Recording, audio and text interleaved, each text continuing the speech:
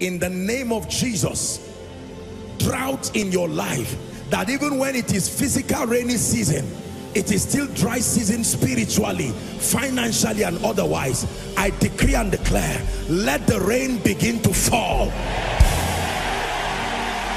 Let the rain begin to fall. Let the rain You're welcome to another spirit-filled message on Christocentric message. If you're new to this channel, I would entreat you to hit on that subscribe button and then to like this video.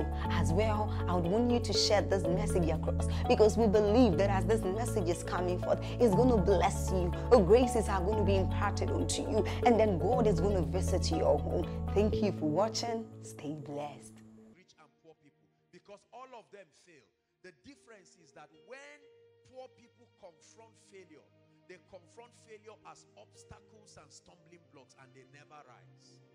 But wealthy people, in the midst of problems, they are searching for opportunities. They see it as an opportunity to learn and to re-strategize. Every rich man has failed. They have the same destiny as far as failure is concerned. The difference is that they got up, they re-strategized and moved forward. Whereas the failure sat back there. Remember I gave us an example the last time. How that armed robbers can step into a place. Remember the example I gave us. Armed robbers can step in and rob a house. Rob everyone and collect their money. And break the window. And for one, it will be an opportunity for them to change the louvers right?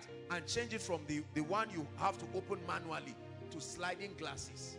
After two years, the man has re-engineered his house. Whereas the poor man, after two years, he has all the pictures of the theft. And he's still swearing, jumping from prayer house to prayer house that the thief must return his speaker. It's two years. Two years. The Bible says, I will restore the years that the canker worm. What is my own is my own. And they are arguing whereas the other person has moved forward. See that?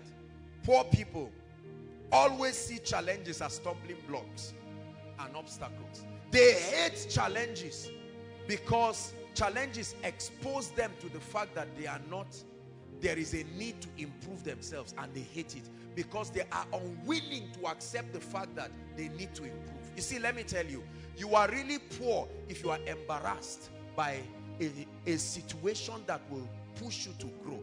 Poor people love being local champions. They hate challenges. That's why they fight anybody better than them who comes around their vicinity. Have you seen people like that? The moment they are shining and they see somebody who comes and is more competent, they fight him because the person's competence will reveal a weakness in them. But great people associate themselves with those who challenge them. The Bible says to provoke one another unto godliness.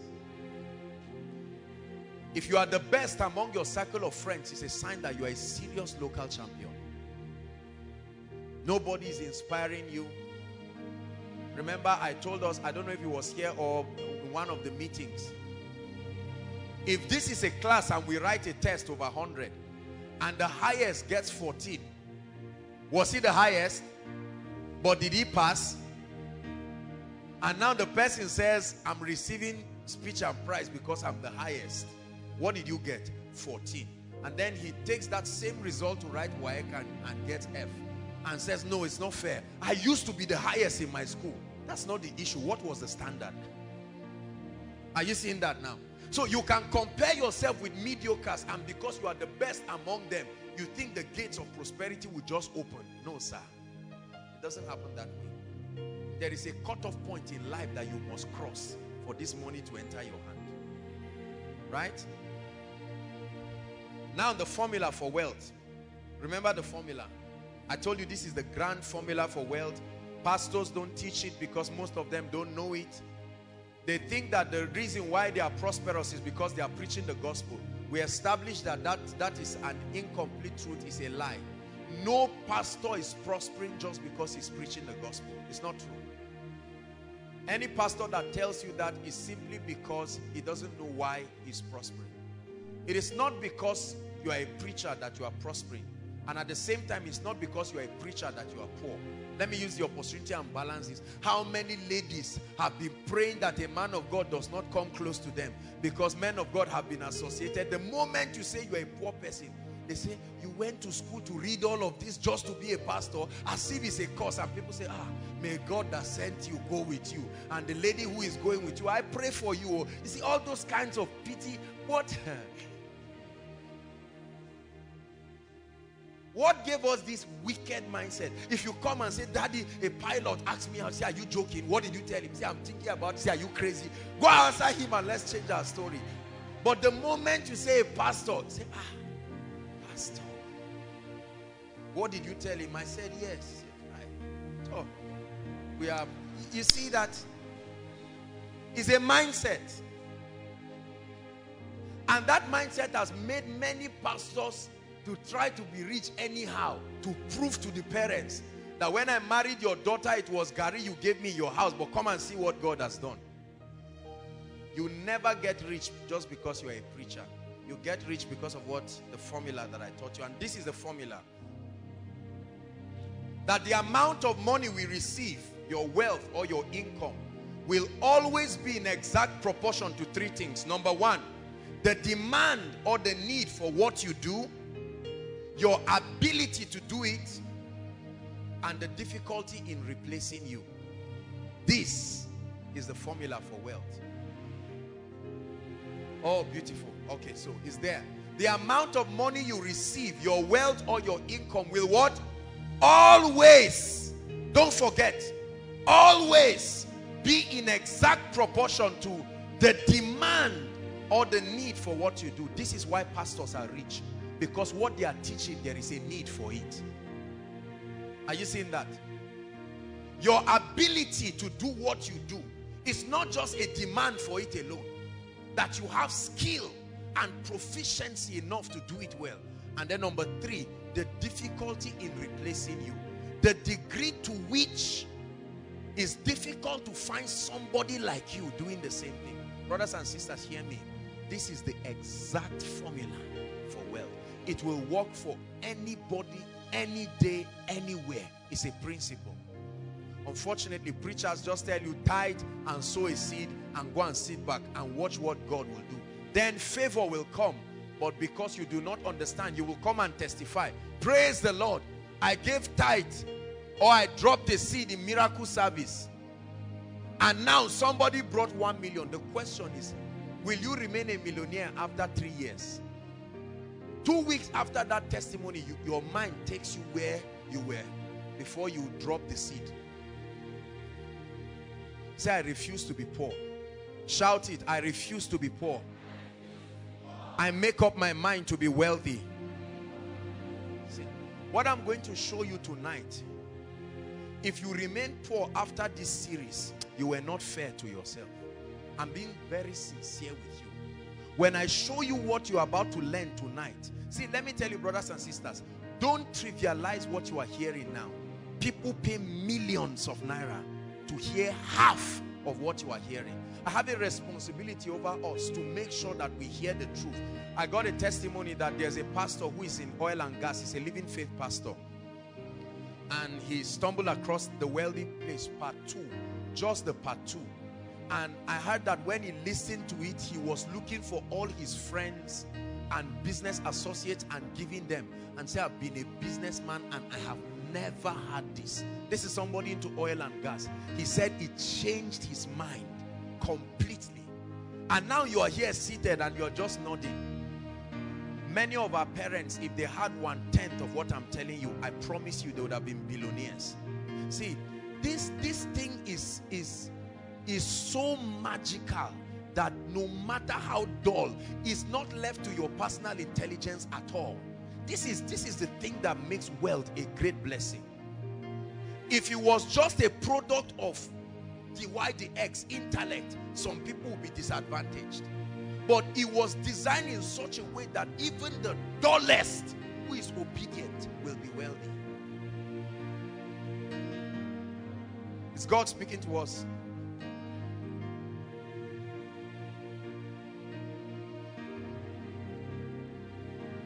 So the amount of money we receive will be in exact proportion to this.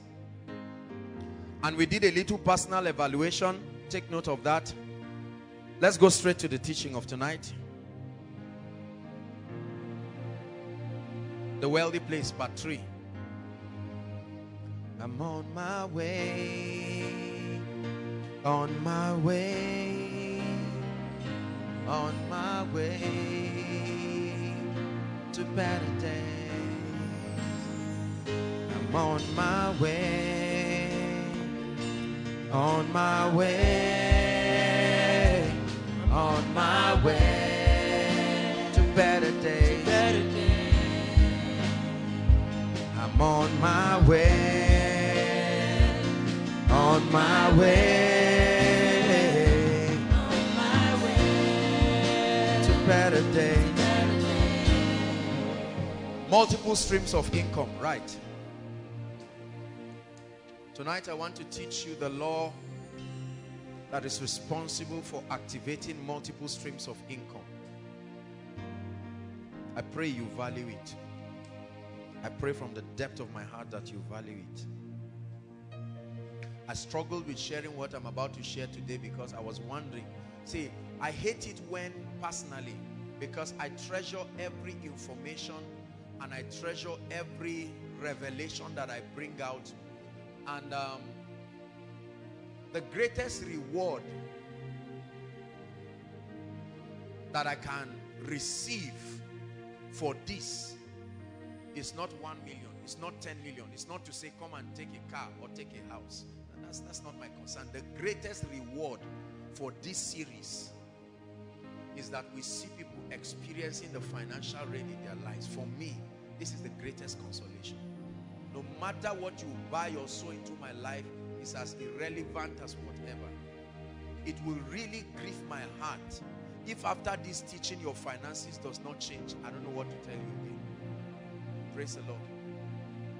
Because this is the very secret of the world's greatest millionaires. Billionaires. All of them. Every single one of them. If you have ever admired them, this is the key. I've reduced the work for you. All the tens and hundreds of books, seminars, videos, and all kinds of sacrifices has been compressed in a series for you to receive. If you don't act on it, there's no reason why you should blame God. Unfortunately, I know that not all of us will act on it. It's a sad truth. That's why Jesus told the disciples, he said, the poor you will always have with you. Meaning there are people, no matter what they hear, they will not change. And the trouble is those who don't change are the ones who will criticize us. They will get angry because they are not doing anything. And they'll say it's not true. What they've taught is not true. People, if I told you now, all of you, take off your shoes. Put your right finger. There's something I'm going to bring out and shake. Many of you say my, my story will change because you like things that don't commit you. You see why we like fetish things? Africa for that matter. They say turn around and slap something three times. Say, go, it's done. The man leaves rejoicing because that spirit of laziness. We hate it. Whenever you tell people it's up to you, they say, no, do it for me. Just do it and give me the result. God will bless you. Unfortunately, life is not like that. We like a wolf. That a wolf mindset has done a lot. We like telling people thank you. Just do it and say, really, just for me? Unfortunately, not everything in life is a gift. There are things that are rewards. They will commit you. This is one of them. That's why people like lottery. They like inheritance. Is one word that we love in Africa, inheritance. He died and left it for me. That's why we love that scripture, the wealth of the wicked. Ah, yeah, yeah. Notice I've not touched that scripture. The wealth of the wicked is laid for me. You will grow old. That scripture was written, wait, hold on. That scripture was written before our forefathers were born. Is that true? That scripture was even written before colonialism. And those who quoted it died without touching the wealth. My Bible says God gives to a man that is good in his sight wisdom and knowledge. And then he gives to the unbeliever to heap and to gather that he may give to the believer. We think that is just because we're singing praises and tithing. Then Dangote will get up one day and say, um, Shahoma, there is an anointing on me. I don't know what is upon me. Please come. Um, this is my sugar company. Is your own.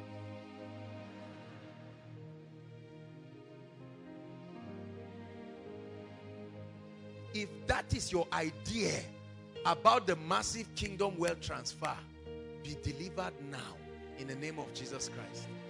What? What an illusion. You really believe the man will leave his PA, his sons and daughters, wives and concubines, and then just come to you because you think, listen, I know we keep talking a lot. We say in one day, the wealth of Egypt was given to Israel. You don't talk about 40 years when Moses was in the wilderness. You don't talk about Moses' compliance. You don't talk about his repeatedly going to Pharaoh. We see courage. We see audacity. We see character. We see discipline. Right? We see faith. We see patience. You leave all of that one and the only thing you see is that in one night, I've told you preparation takes time. It's manifestation that is instant. We talk about Joseph becoming the prime minister. We forget that a woman lied that he raped her. Do you know what it means to be scandalized on your road to destiny? We forget all that one and we just say in one day, Joseph came up. From the day he helped someone to the day of his reward was two years. The wine presser forgot about him, yet he was still faithful. He was not offended.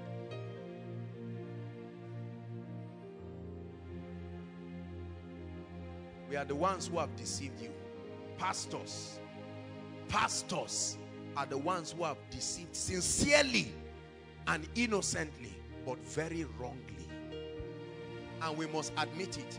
I told you many pastors do not have financial literacy. Why?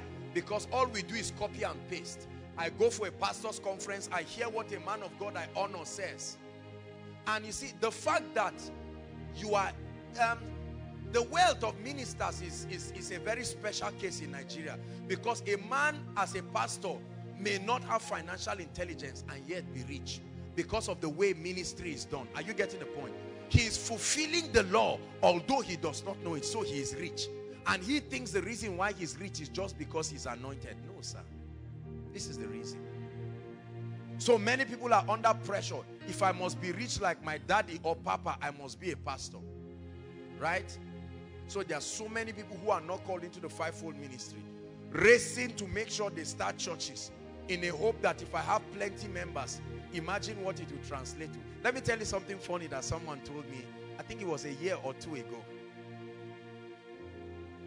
We were somewhere and I paid for something and the person looked at me.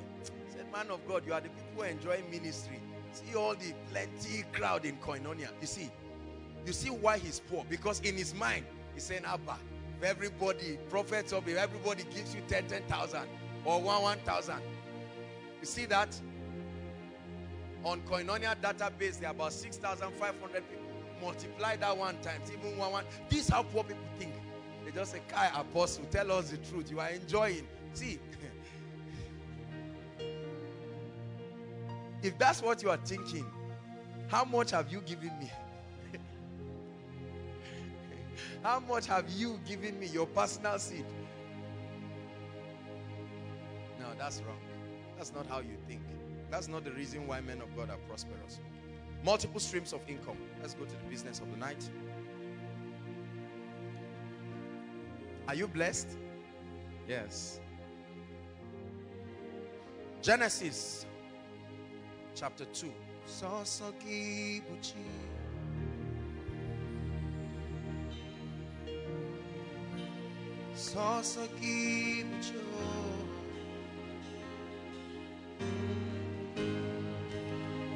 kimucho Sasa kimuchi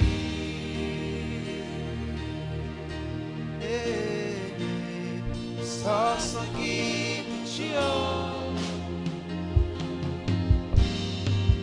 Sing it one more time. Sasa kimuchi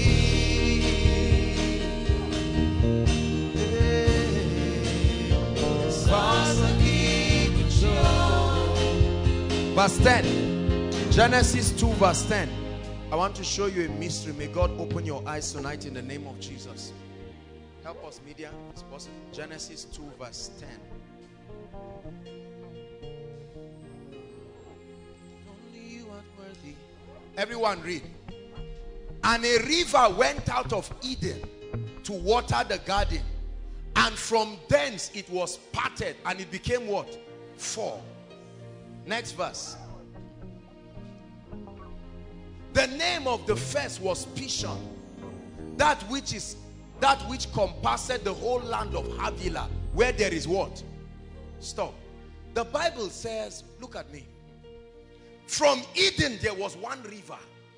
And then it said the river parted itself into four streams. And it started telling us that every one of the stream had a particular treasure. In one of it, there was gold. And the Bible says the gold is good. It started listing precious metals and so on and so forth. Are you getting my point now? So, one river parting itself into four streams.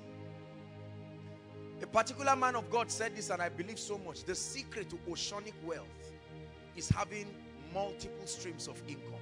A stream can dry, but an ocean never dries. Never dries. An ocean never dries. A little stream can dry, but an ocean will never dry. This from scripture becomes for us a revelation into constructively building a robust recession-proof financial life. Multiple streams of income.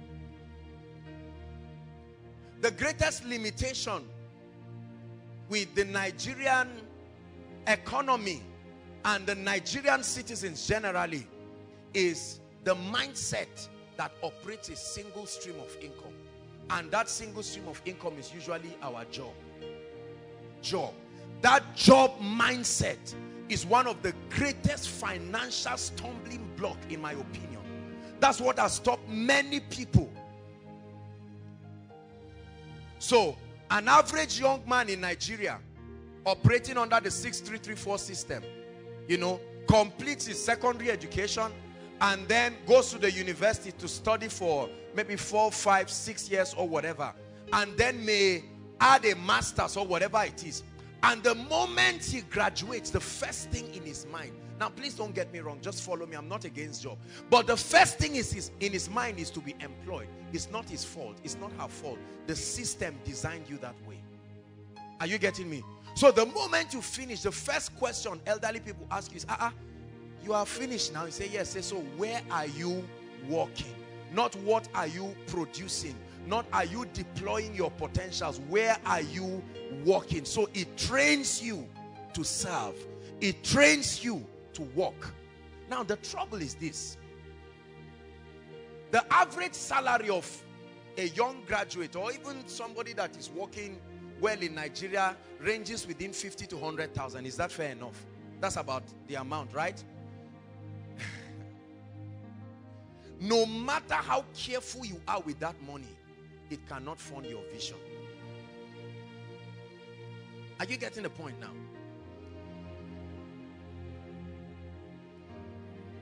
A job was never designed to completely fund your assignment getting one stream of income or staying on one stream of income is the key to insufficiency and perpetual financial struggle. Please listen to me.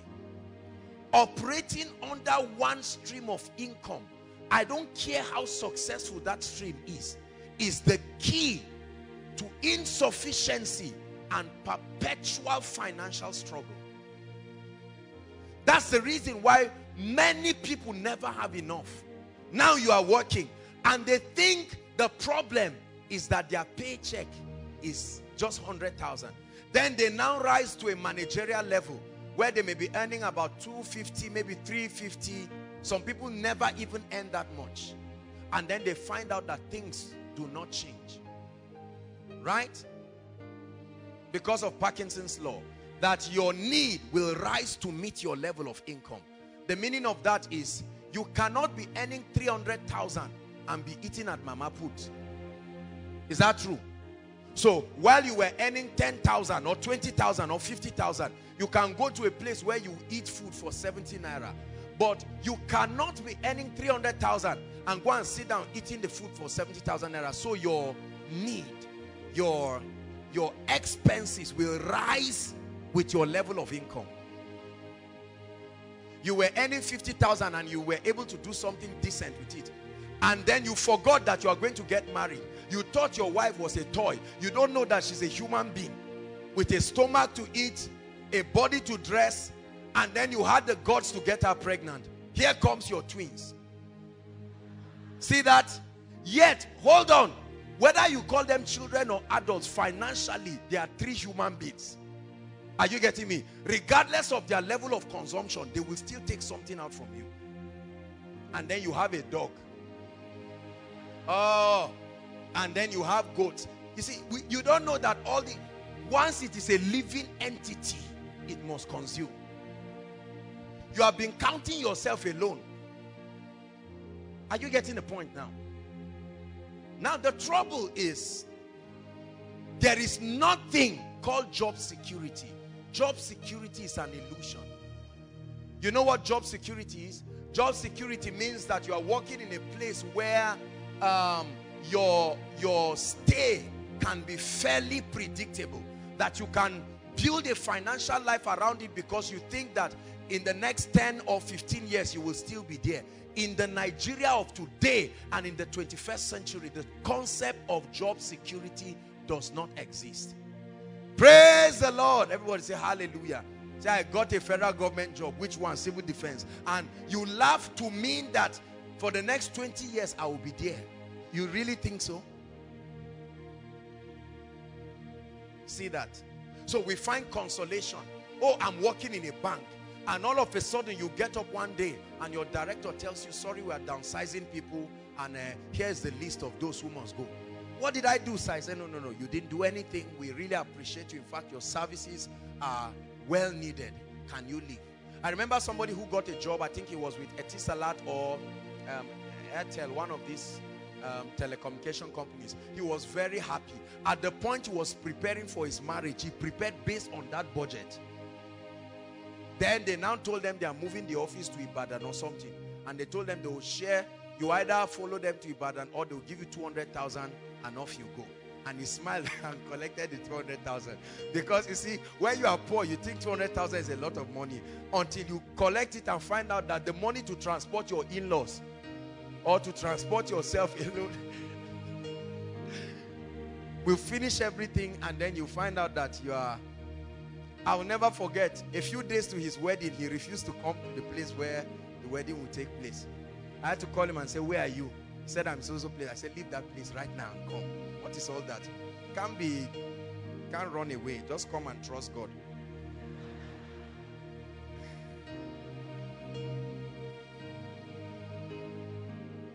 Hmm. That's very true. Nothing in this world will satisfy. This is a part of the song I love. Jesus, you're the cup that won't run dry. Every mundane, listen, the Babylonian system, this cosmos, the economy of the world was never designed to make you rich. It was designed to strangle you to death. That's why I like that song is the cup that will never run dry. Jesus, you're the cup Can you sing just that part one more time?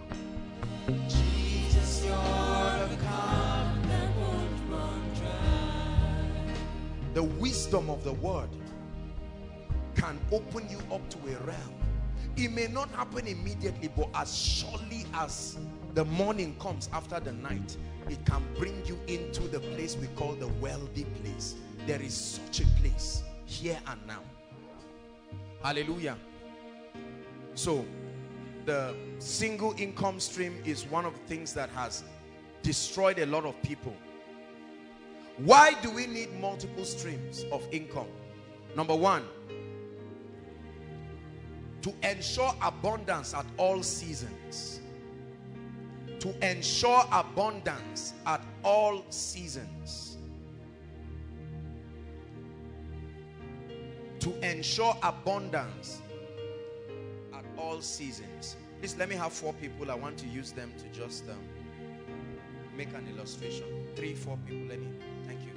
Just stand here, guys. Watch this. Let's call these guys different streams. Just stand and face me. Thank you. Watch this. If this is the first and only stream of income you have, let's call this a job, right? We'll identify what the others are shortly. But let's assume this is all you have, your job. Let's even call it a nice place, NNPC. That's where many of us dream of. Or Shell, or Chevron, or whatever it is you want to call it, right? Watch this. This is all you have. Number one, it was never designed to fund your project. And number two, your salary will only keep coming to the extent to which that corporation keeps functioning. It's one thing for you to be employed and it's another thing for your corporation to keep being relevant. If you were working in Nitel in the 90s, you would be happy because Nitel was invincible. I mean, they were the only telecommunication company. You would imagine that working in Nitel by now, you would have been the boss.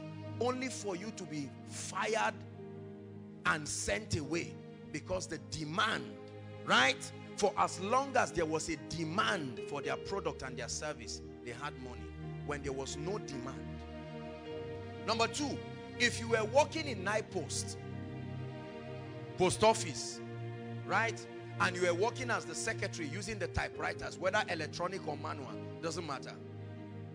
Right now we have emails. I remember when we used to post letters. In fact, even we the young people have experienced some dramatic transitions. Remember when they used to use card? You get a card and then you load it 200, 500 and you slot it in one big something and you hold it, you know. And then you are trying to talk and then the card just finishes and it starts beeping only for you to go and buy another one. Imagine within the last 10 to 20 years, the transition that has happened. So for you to say job security in terms of working in an organization is a mirage. The service that organization provides may be inelastic, but then the question is, what is the guarantee that they will still need your service? How many people do we know seated here listening to me right now, many who are following us online, how many people do you know started working very well and they were happy? They gave tithe, sincere people, and now they've been laid off. And they've remained there in their utter frustration. Five years have turned to 10 years. 10 years has turned to 15 years. And many of us look around and we say, Daddy, I grew up knowing you not to work. And they say, I've been waiting. Uh, even last week I submitted my CV. And look at this. He started that when you were five years. Now you are 25. For 20 years, he's hoping that one day somebody will need his service enough give him a job. One stream. The beauty of multiple streams is this. Watch this. The, the limitation of one stream is covered up by another stream. Are you getting what I'm saying now? There is no stream of income that is perfect. What you can do is to combine streams of income that complement one another so that the lapse of one is covered by the availability of another. Are, are you getting the point now? This is part of the benefits. For instance, do you know that it's one thing for you to get a job, but it's another thing for you not to be paid? There are workers in some states that have not been paid for how many months? Almost six months. Now, you notice. I'm sorry to say it, but most of the civil servants in Nigeria don't pay them for two to four months and they are dead. Completely dead. Are you seeing that? Those who have extra streams of income, while they wait for the salary to be paid, there's something to fall back on. See, they can laugh with you and say, Kai, times are hard, but it's not true. They are saying it because you will insult them if they say times are not hard. They are identifying with that poverty mindset. So they say it's true, times are hard, but the truth is they are, they are, they are on heaven, they are in heaven. Heaven on earth. You see that? So you find out that this person is here. God forbid his car is stolen. His salary alone was designed to take care of the family. But because there is another stream, in two or three months, he has bought another car. For, some, for somebody who collected, he was loan from the bank and he bought a car of 2.5 million. You have not finished paying the loan and they've stolen the car. You know you are finished. Whether you want to go for work or not, you must go. Because if not for anything, that loan must be paid. Out of the 2.5, you've paid only maybe 90,000 or 130,000. You know that you are, the journey is still far. You cannot afford to quit your job no matter how sick you are. So you see people angrily dragging themselves in the morning. That's why they vent the anger on you. They get up and look at you. One, two, three, four, five, six children. Now the seventh one has come. There is a loan of 9 million to pay in the bank. They now cut our salary from 200,000 to 150. And the man is saying, where is my life going? See, every man you have seen was not like that. Every man you have seen who is angry, beating his wife, I can tell you if that's how he toasted the woman, she would have told him no. Something made them happen. Notice men from 50 years and above. That's why people don't even remember Father's Day. Because all we remember about fathers is they are cruel and wicked. It's not their fault. It's the inability to learn what I'm teaching you. And if you don't learn it, I guarantee you in the name of the Lord, you are on the way to becoming exactly like that. Absolutely. In fact, it will be harder because the 21st century, living in the 21st century right now is a lot more difficult and complex. Right? Well, if you factor in terrorism, if you factor in wickedness by people, put in all these factors, humanly speaking, that living in the 21st century is living in a challenging time. Your advantage is in the fact that you have many streams. So you are an ocean receiving from many streams. If one stream dries up, there is another that can complement. While you're working on that one, then there is another.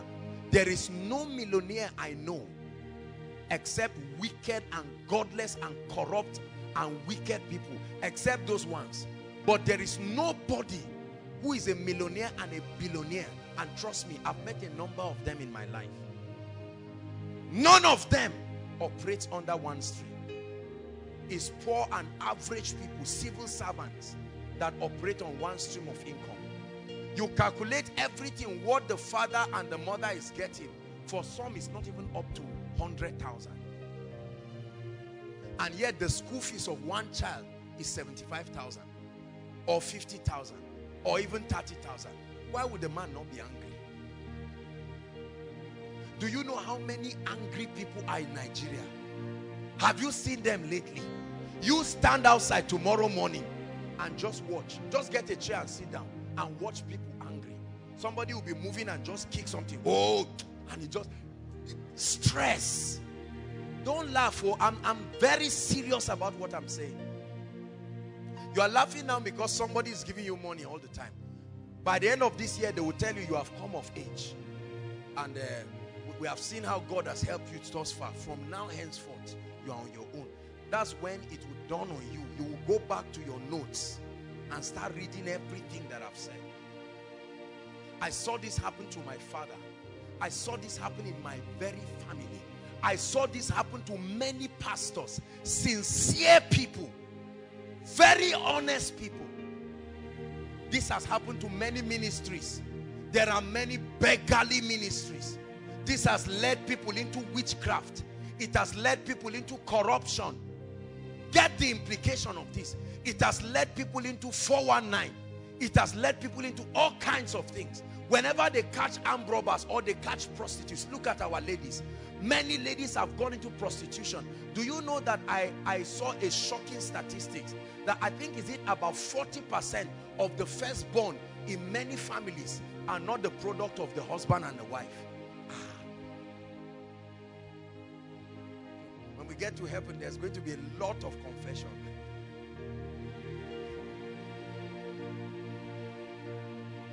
Very funny statistics. Multiple streams of income is the key to surviving financially in the 21st century. Activating multiple streams of income, hear me brothers and sisters, is the key to surviving the vicious tide, the vicious tide of economic hardship because it will happen. You have not seen recession yet. More will come. It's in your Bible. Right? Talking about the heavens over people becoming like brass and their earth becoming like iron. It will happen. You can't stop it. You can only exempt yourself. I choose to exempt myself. So I rather pay the price now and exempt myself. Hallelujah. Bless you guys. Thank you.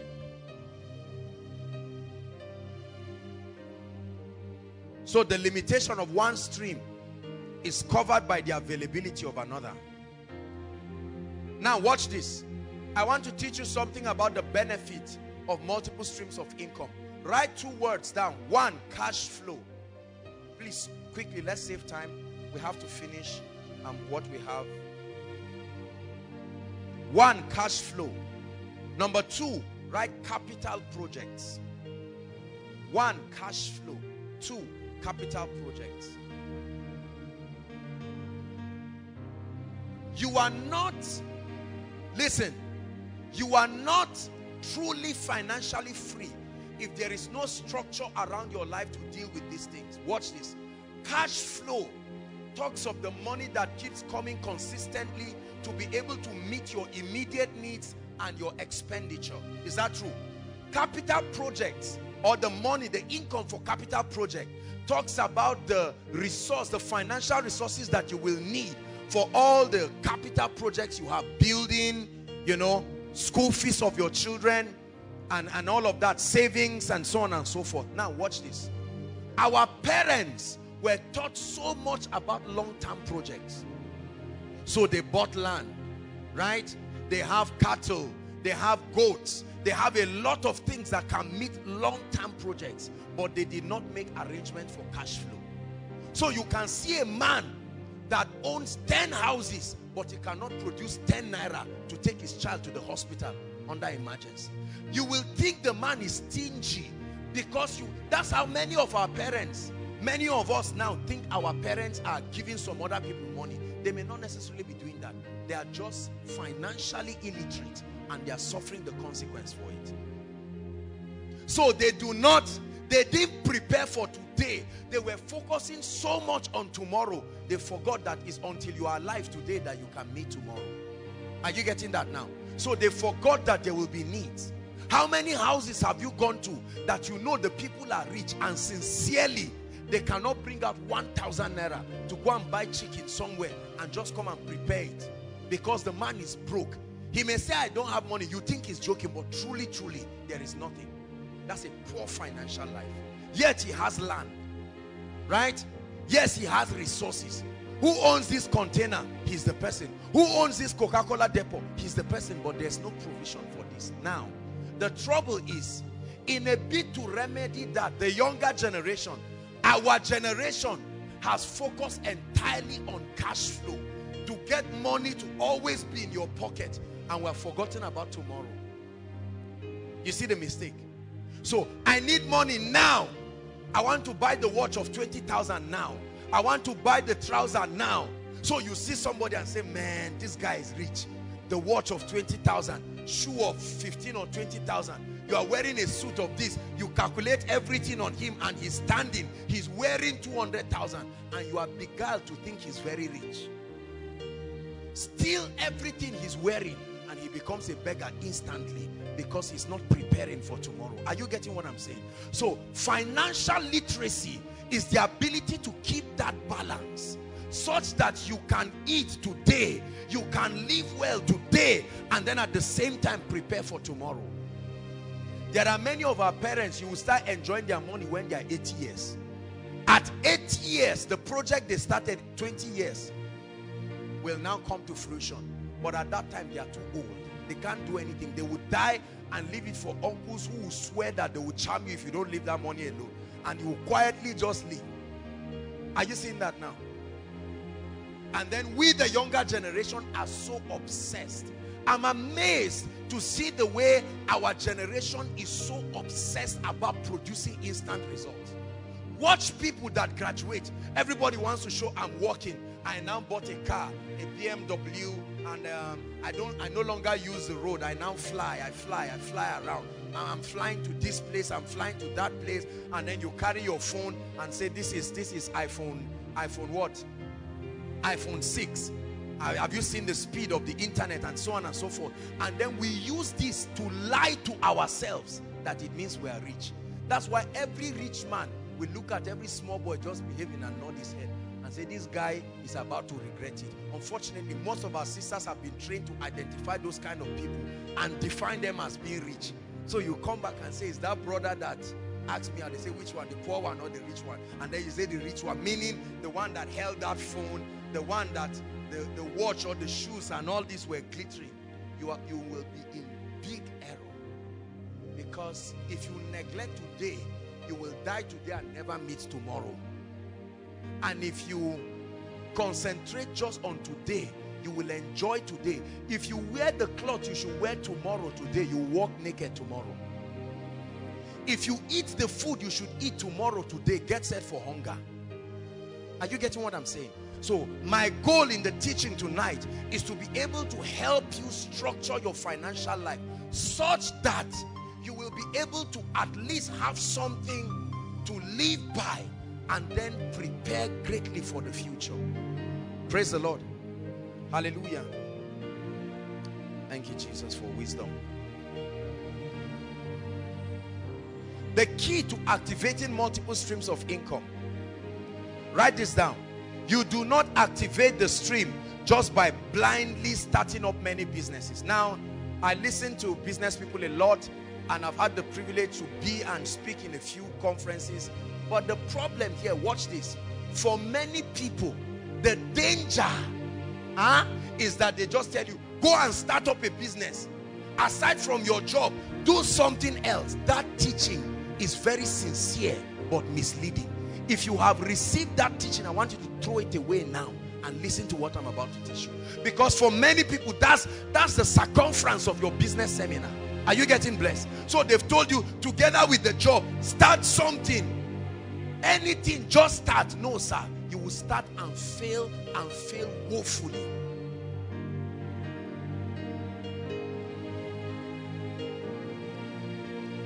Write this down.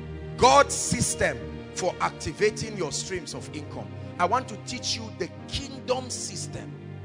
There is a Babylonian system of establishing multiple streams of income that ends you in frustration, ends you in penury, or you will be rich but at the expense of your salvation. You will be rich but at the expense of very important things in your life.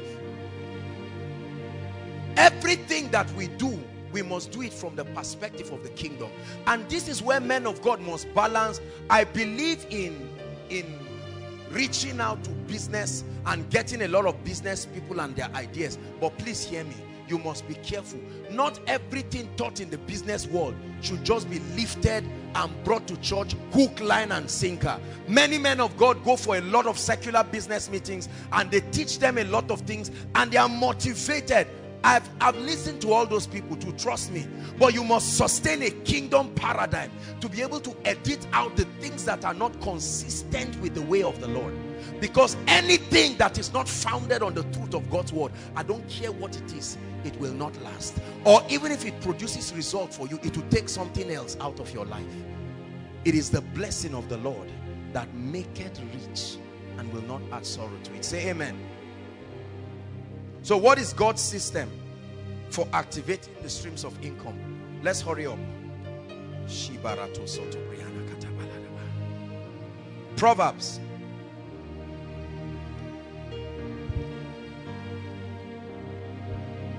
The book of Proverbs, very quickly.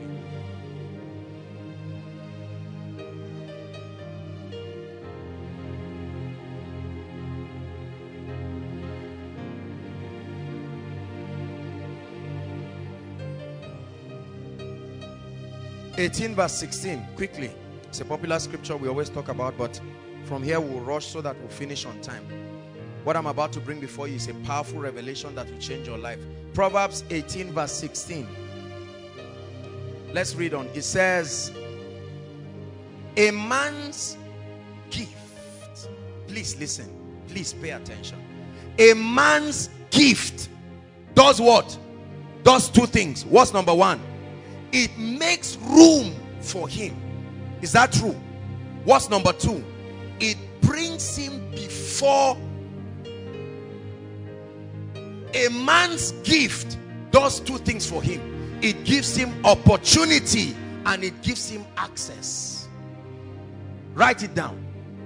Your gift does two things for you that is very vital in producing finances in your life. It gives you opportunities and then it gives you access. Access. Entrance before the great. A man's gift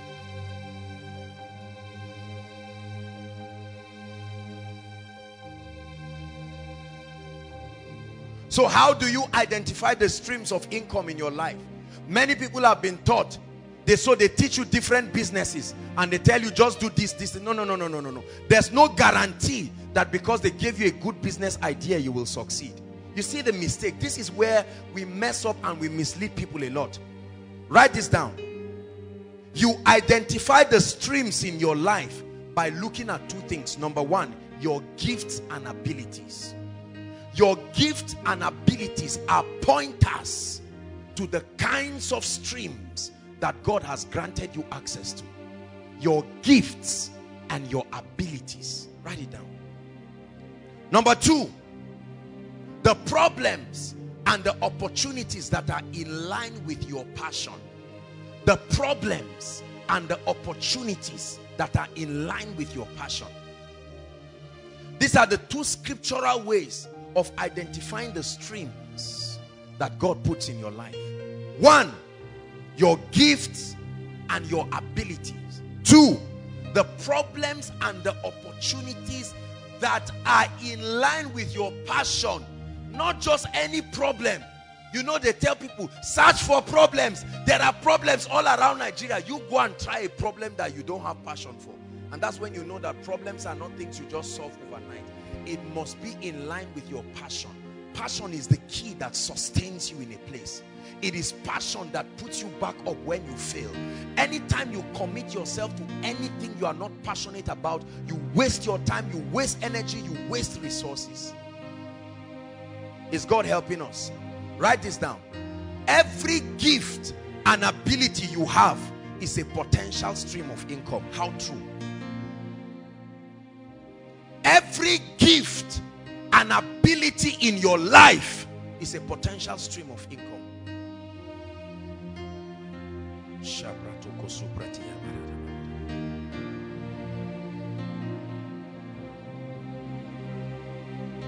Every gift and every ability you have is a potential stream. Look at David for instance.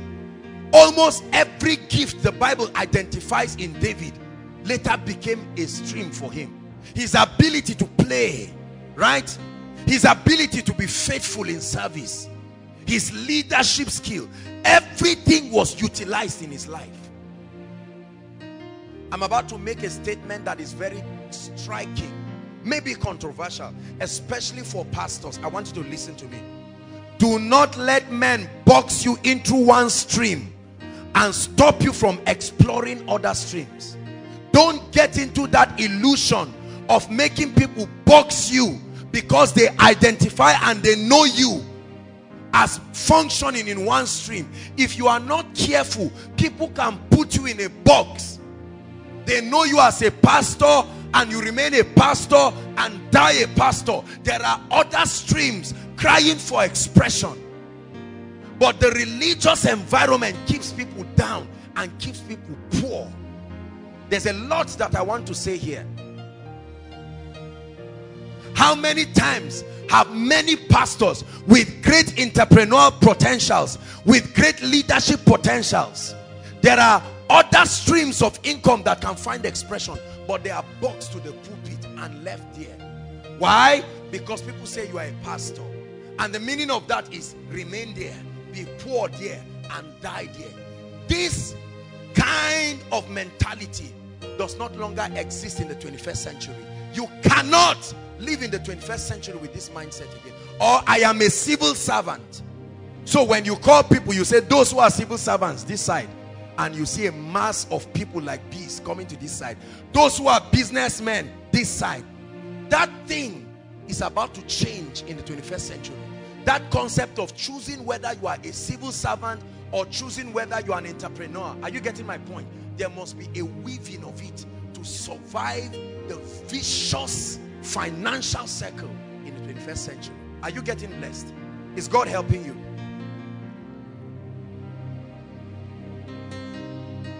There are many pastors. I say this with a particular bias for pastors because we have said pastors are wicked people because pastors have been caught in all kinds of financial scandals in church eating God's money. Pastors have been found manipulating people and doing all sorts of things. And the reason is because they have to respond to the necessary frustration that comes by having a single stream of income. Now the man is a pastor and is earning 20,000 with five children, right? You can imagine what that is. That you give a pastor a house and one car does not mean he will not need money again. And they themselves have not been educated they have not been taught. They lack financial literacy. Are you getting the point now? So the pastor has to necessarily keep preaching messages that will manipulate people into because the pastor's children must go to school. Is that not true? The pastor must also eat. Some of you, after the service, you go to the pastor's house. 10 people immediately after, after service and all of them deserve to be fed.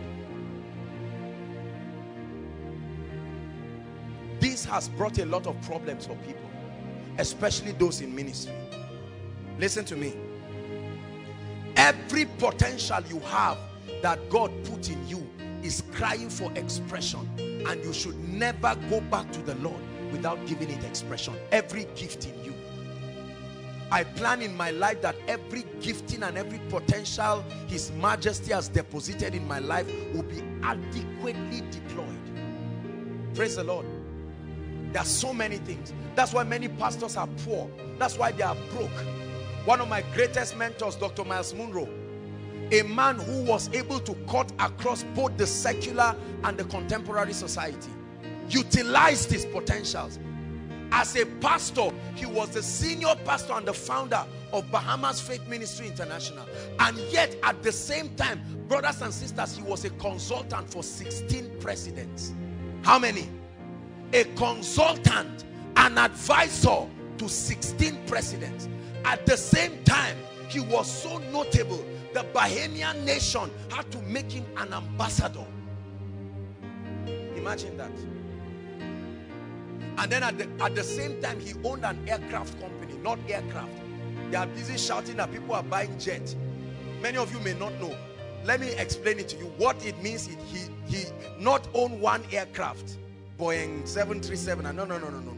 He owned a fleet of aircraft, the very company that deals in it. And yet he was a kingdom man. He lived well on earth and is gloriously honored in heaven. That's why he was a man of integrity. He was not just a man of integrity because there was absolutely no need. Why will you steal church money? For what? How much is the money? Are you getting the point? I tell you the truth.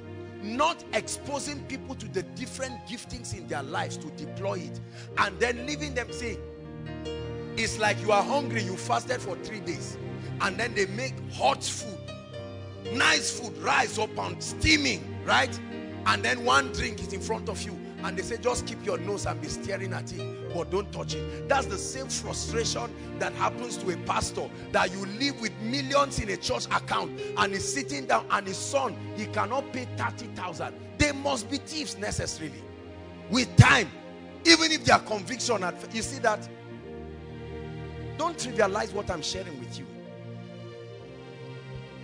That's the reason why many many pastors cannot be bold in teaching the truth because they have inconvenienced too many people.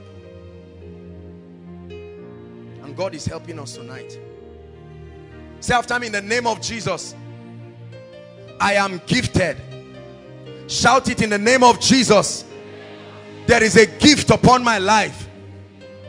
There are graces upon my life. There are abilities upon my life. And I will deploy every one of them to become a stream of income. Even if God tells me to drop ministry today, I will never be poor for the rest of my life because there are other streams. Are you getting me? Before God called me, I was doing something. Is that not true? You see, many of us act as if, oh, God found people lazy. Go and read your Bible. Everybody God called into ministry, he called from, he called them from a standpoint of diligently doing something. Moses was tending his father-in-law's sheep. Is that true?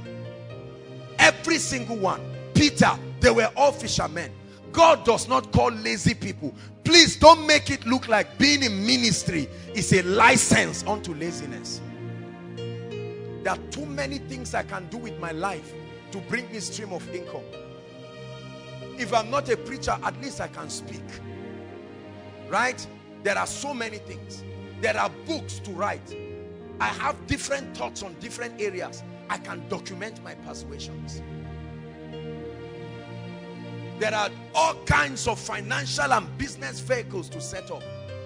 So don't you see a man of God rich and just think it's church money or just think and think eh, are people not dashing them money. You see articles blackmailing men of God all around and saying a man who was poor but now he has, as though he's not supposed to be blessed. People are arguing and complaining about one jet, two jets. My goodness, I don't know what will happen by the time we come. If we need 100 jets, we will buy all of them. I guarantee you. Very unapologetically.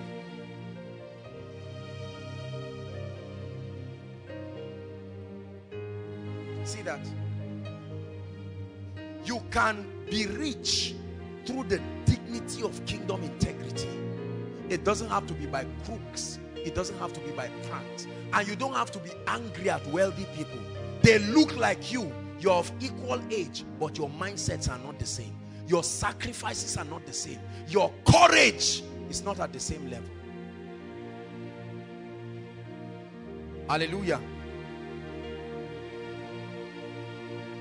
Never allow anybody keep you in one position and not allow you to deploy your talents. There are many of us who are seated here. Bishop T.D. Jakes the, the pastor of Potter's house, right? He wrote one book, Woman Thou Art Loose. Just one book. And that book brought him $4 million. Multiply that by 210 naira thereabout that gives you the equivalent in naira because he deployed his writing potentials it became an added stream of income when people were insulting him for living in a house of 2.1 million i said come on give the man a break he didn't steal anybody's money why will I be worth 10 million, 20 million, 100 million and not live in a house? How much is 1.2? How much is 2 or 3 million compared to 100 million? Don't insult people. If a man buys a car of 20 million, don't insult him and say he's extravagant. Compared to what? You are gauging his success based on your level. Compared to what? You see that? These are some of the poisonous mindsets that have destroyed us. We never forget, we forget the fact that these guys are sick. Their tape ministry, the books that they have written enough will feed them for a lifetime. Just the books. Bishop Oyedepo, for instance, I hear that he does not even collect one naira from his books. And there are at least 60 books he has written. How many of them are bestsellers? Yet we, we, are, we are the first to criticize people and run down men of God and run down people because how much is the peanuts you get from congregations compared to the wisdom. See, the Bible says, if any man lack wisdom, let him ask, not let him criticize those who are walking in it.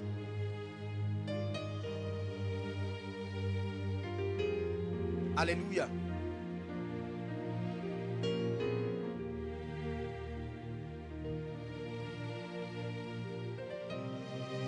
Ministry for me alone with all the blessings of ministry is only one stream of income. There are so many of them in my life that have been developed and others are still being developed. I will never be poor. It's not about being a preacher. It's about realizing that once there is a demand for what I do and I train myself in the ability to see to do it when you are sleeping the wealthy people are awake studying seminars, doing a lot of things, right? And then we see them rich and we criticize them. Please, I want to say this koinonia from today. Never develop the attitude of criticizing wealthy people again. You will never be like what you resent. Anything you drive away from your life, you can never be like it. Honor is the seed for access.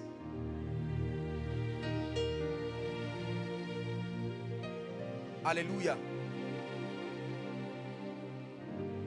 I'm friends to many, by the grace of God, many wealthy people and many millionaires. I'm not so daft to be around people who are blessed and not ask questions. See that? This is very important. But then let me let me quickly balance something because there are so many people who will be hearing. Now, I explained to us that there are all kinds of streams of income. Watch this. The trouble I have, especially with men of God in business and other things, is that they do not know how to draw the line between the different fragments and facets of their lives. Are you seeing that now? When Jesus entered the temple, what did he do? He took a whip and he was flogging those who were doing business in the church. In the church. Jesus showed us that there is a difference. As a man of God, I have my corporate life. I have other dimensions, leadership and all of that. You see that? I cannot come into church and be doing business in the church. No, no, a thousand times no.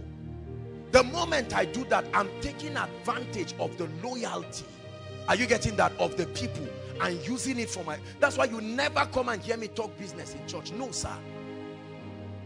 The Bible says, give to Caesar what belongs to Caesar. Right? I cannot bring up a product right now and force everybody in Koinonia to buy it. It is my product, but a lot of men of God are doing it. This is where the balance must come in. You cannot use the vast people that God has given you to train and build and then squeeze into them. No, no. There is a difference between different aspects of your life. That's the reason why God fragmented himself into different aspects. You cannot know Rapha by studying Jireh. Jireh is a dimension itself. Rapha is a dimension itself. Tsidkenu is a dimension itself. Is that true? El Shaddai is a dimension itself. But all of those names belong to one person. I am. So he said, who do men say that I am? And they were calling different dimensions of him. As a, as a man of God, you are dimensional. While it is true that you do not stay on one place, you must know where the boundary lies. Never carry business into church and go and manipulate people. No, it's wrong. Very wrong. If you are here as a man of God and you are doing it, stop. Stop. You must give people an opportunity to make their decisions. They are not daft. Of course, I understand sometimes because of our kindness and generosity. Do you know why I'm telling you this? Because there are some things I may not be able to share here, but see, the business world is a lot different from ministry. In the business world, you must give people room to take responsibility for themselves. As a man of God, you can ruin your church in one moment, right? I know there was a situation that happened in, in one church down in Abuja. It's, it's one of the popular churches around where there were some people who brought some land to sell and then they brought it to church and they designed one scheme and members were happy and all of that and then somehow the people were dishonest and they swindled the people with the church. The man almost lost his ministry because people started saying our pastor is a thief. He connived with people to eat our money. Do not think because members sit down and love you they love you as a man of God but you must give them room to build their financial capacities. Don't over pamper people in the name of kindness. They will stab you when they fail because the business world is a world that requires its own maturity. Are you getting me? Many people do not have business sense and you expose them in the name of church to businesses or some things. When things go wrong or it fails, they will kill you they will write articles about you. They will lock you up as a man of God. And so let people take their responsibilities by themselves. Are you getting what I'm saying? Is God giving us wisdom? This is a mistake a lot of pastors have made. They come to church. Anybody just comes in and says, I'm a lawyer. I have some land. I am a this. I have that. And then the pastor comes and announces. And because people love the pastor, they now run around and come and say, this is our pastor, this and that and that. Or they raise money to buy church land. Know, all kinds of things. Please, I'm telling us, especially for men of God who are here, who are upcoming, maintain integrity. Maintain integrity. As a man of God, define the jurisdiction of your work to the ministry and stay there. Now, there are other platforms you can create like Sunday Adelaja who created a lot of business platforms. If you want to do anything that is business in the church, set up a committee or a club and let people subscribe to it. Spell the terms of it and let the people know that they are venturing into this not in the name of the church but at their own risk. That way, whatever happens, the integrity of the church is preserved. Is God teaching us? I told you I struggle to teach you what I'm teaching you because this is what you would teach in a business class that you pay hundreds of thousands. But this is giving us wisdom, especially for those of us who are leaders. Don't carry the zeal of business ideas or whatever and come and project on people. That they are praying in tongues and they hug you. You don't yet know their attitude towards money. They will stab you and kill you. Is God helping us? Let's continue. So your streams of income should be around your giftings, should be around your abilities, your streams of income.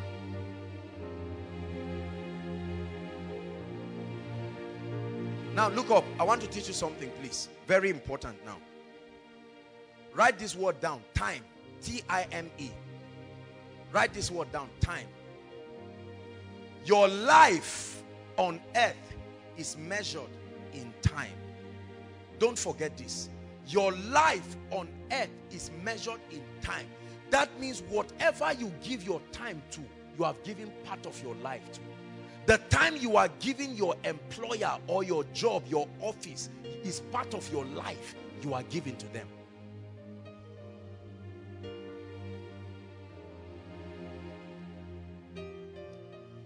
Write this down.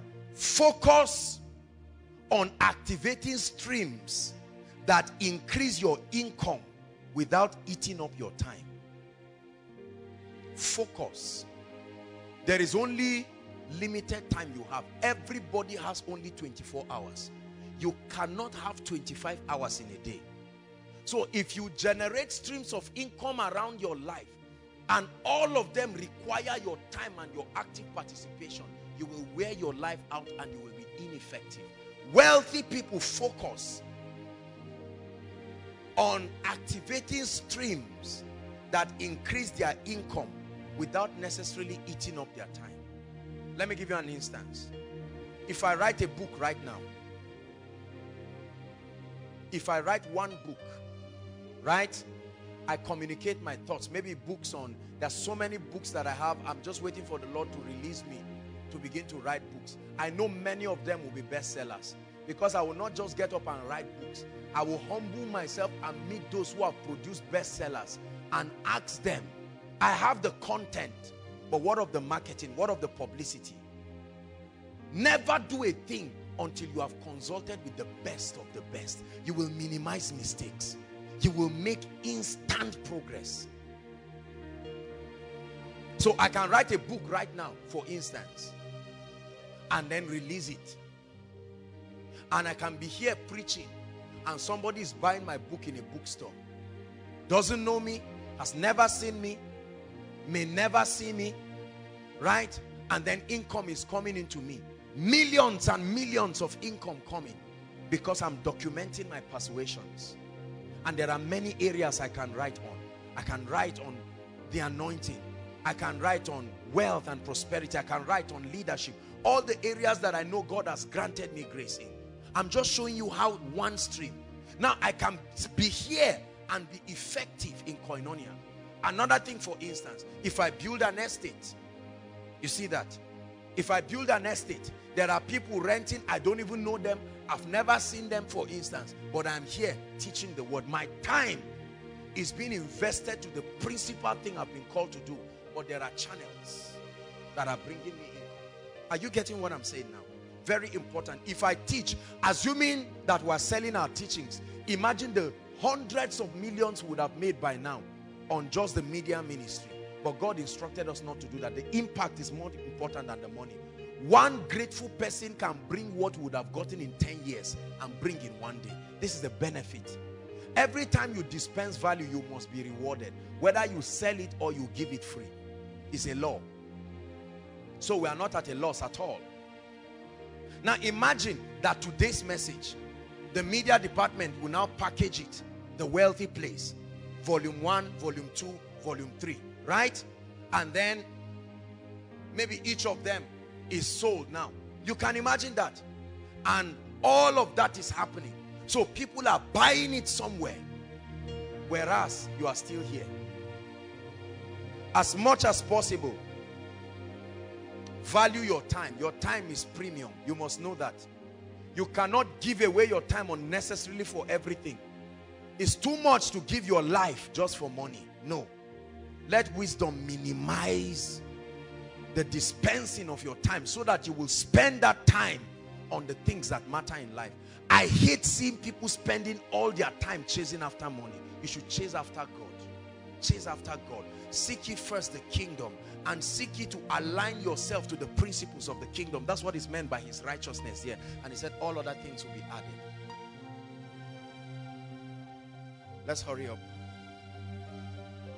When you give your time, you give your life. Never forget that. The reason why they pay you salary is because you are exchanging two things for that salary. Number one, you are exchanging your gift or your potential or your, your skill. Number two, you are exchanging your time. These are the two things that go for your salary. You cannot afford to do this for the rest of your life because you're 24 hours. If you spend one third or two third of that 24 hours investing in somebody's project and his assignment, how much do you have left for yourself? and for the advancement of the kingdom. Imagine that I cannot come for koinonia now and say because I'm trying to do something there, I'm looking for money somewhere. It's terrible. I'm failing in my assignment. It doesn't matter how much money I make. So you have to be careful so that you don't just, that's the language of those we call hustlers. Hustlers are those who are ready to commit their time to anything that will give them money. Right? Their, their time is valueless to them. So they can give it away just for anything. My time is precious to me because my life is measured in time. God gives me the gift of 24 hours every day and I focus on doing the things that are consistent with my vision and my assignment. And while it is true that I want to activate streams of income, it will not be at the detriment of my assignment. And so you must structure your life in such a manner that you can activate multiple streams of income and then at the same time conserve your time as much as possible. Praise the Lord. Write this down. There is a, an equation for financial freedom. Financial freedom is equal to financial abundance plus time plus peace of mind. That you have money does not mean you are financially free.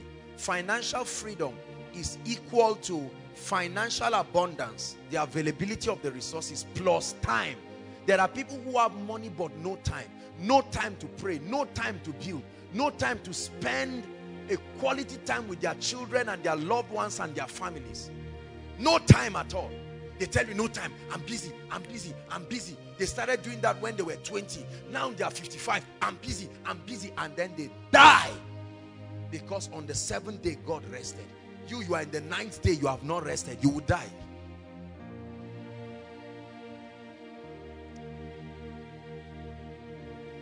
Hallelujah. Let me tell you the reason why it's so easy to be rich in the 21st century. In the school of prosperity, especially in the 21st century, almost any and everything has a demand. There is a demand for almost any and everything. This is the reason why there should be no one here seated under the sound of my voice that in the next three years, in the next five years, should be poor. Impossible. There is a demand for just any and everything.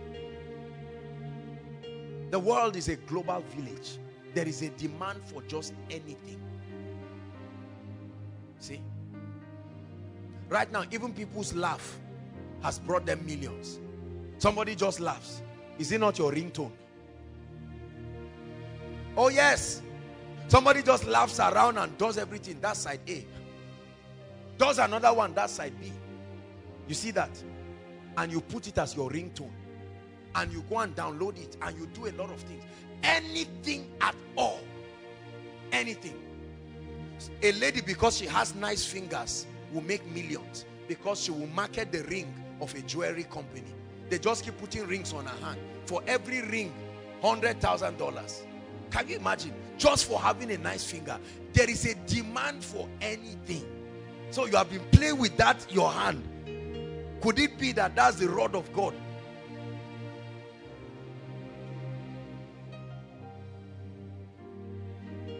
Just for being fine. You can wipe poverty away from your life forever. Right? Just for being not fine you can still wipe poverty away from your life because you can be used in both ways. It depends on the message that is being communicated. I'm, I'm just, I'm speaking generally.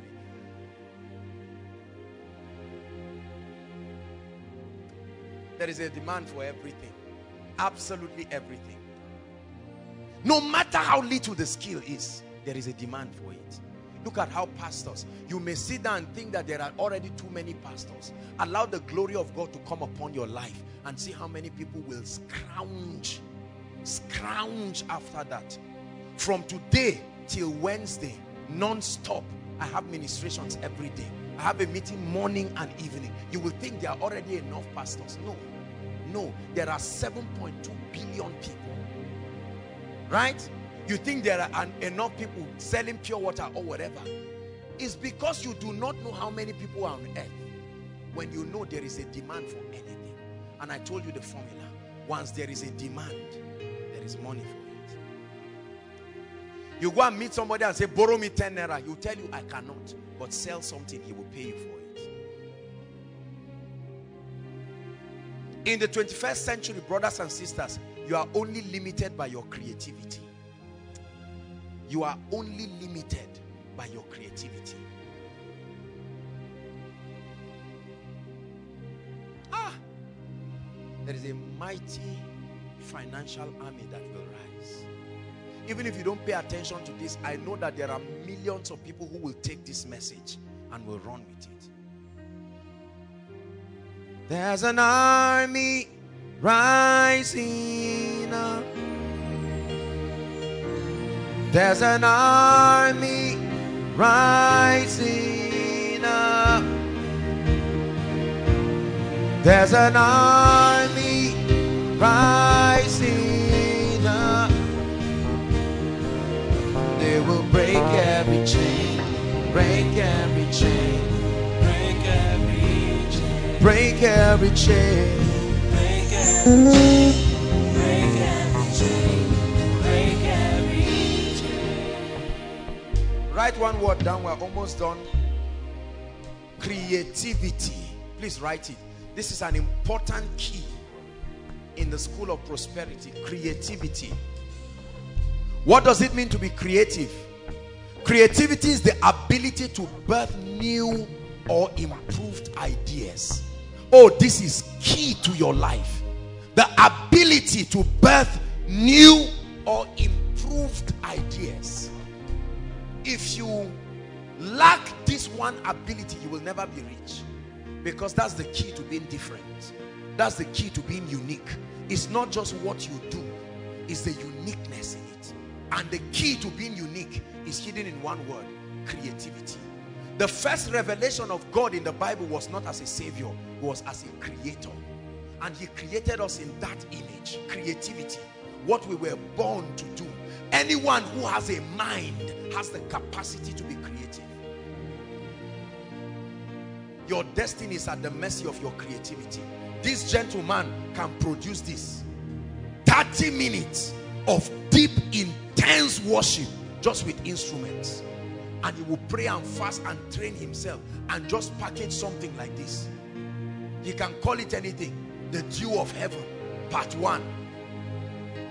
Millions of these copies will be sold because people will put it in their phones can have a contract with most of the the, the, the, the, people, iPhones and, and iTunes and all of these people, and they can put it, they can even put it by default in many gadgets. And is blessing people. Millions of people are buying it, and this guy is getting blessed because there is a demand for everything.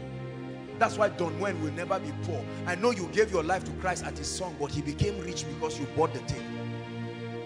Yes, he never sleeps, he never slumbers, but you bought it. Or at least it was given to you. There's an army rising up.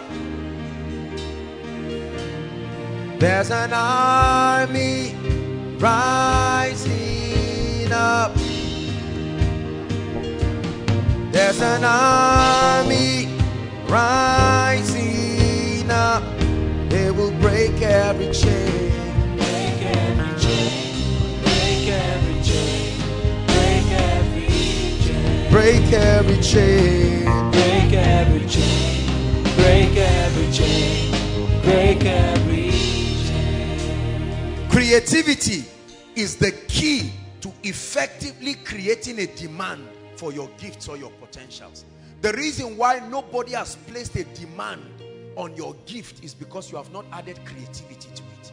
The reason why your shop looks like that of every other person is because you are not creative about it. Let me tell you, in the world of prosperity, you lose by becoming like every other person. Your uniqueness is what stands you out. Your competitive advantage. There is what you get in koinonia that you will never get anywhere. It cannot be cloned. There is what you get from my life that you cannot get anywhere. There is what I should get from your life that I cannot get anywhere. This is your key to prosperity. Men will never come to you if there is an alternative to you. They will come to you to the degree to which you are uncommon I hear the chains falling, falling. I hear the chains falling.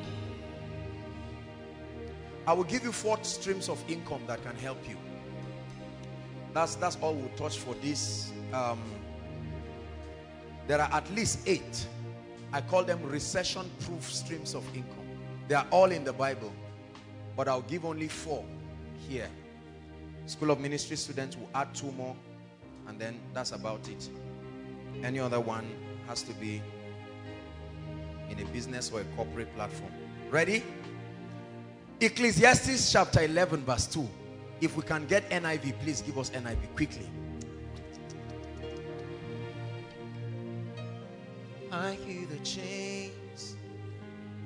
Can we get NIV? Okay, fine. Ecclesiastes chapter 11 verse 2. Please, let's save time.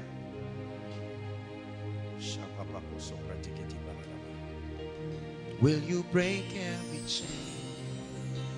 Break every chain. It says, give portions to seven, yea to eight, for you do not know what disaster may come upon the land. Right?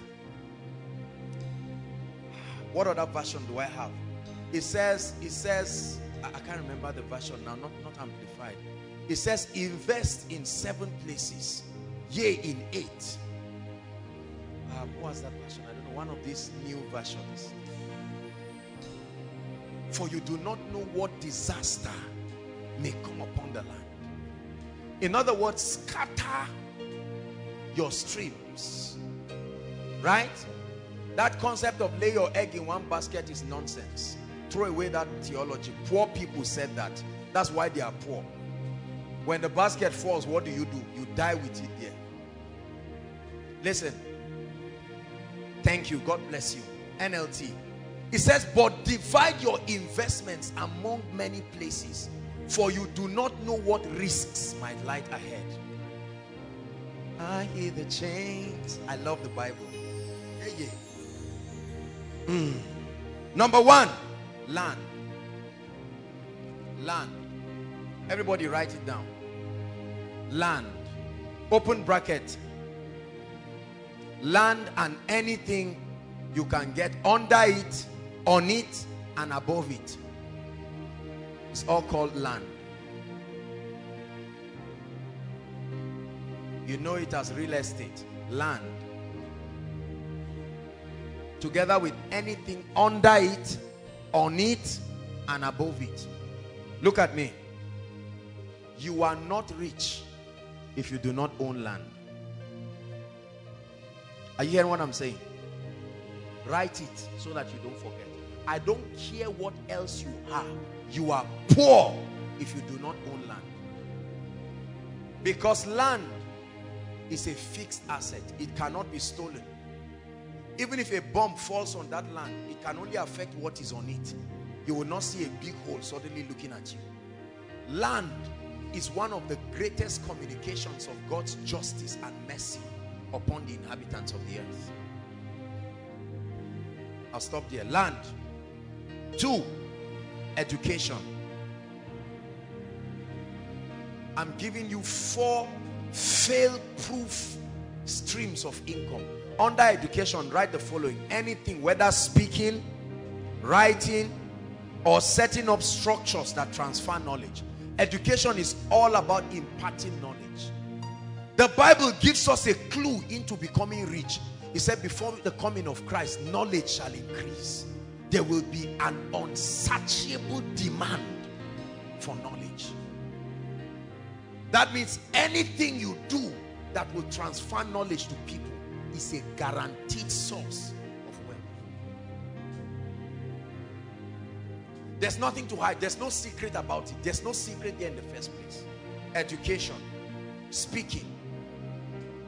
How many people rake in millions of dollars every week just because they are able to communicate? They are not just talking, they are transferring knowledge. Imagine that this was a business meeting and everybody is paying 100,000 for the seminar. Calculate how many people? 100,000 times all the people we have, including all those who are online. And I'm doing the same thing.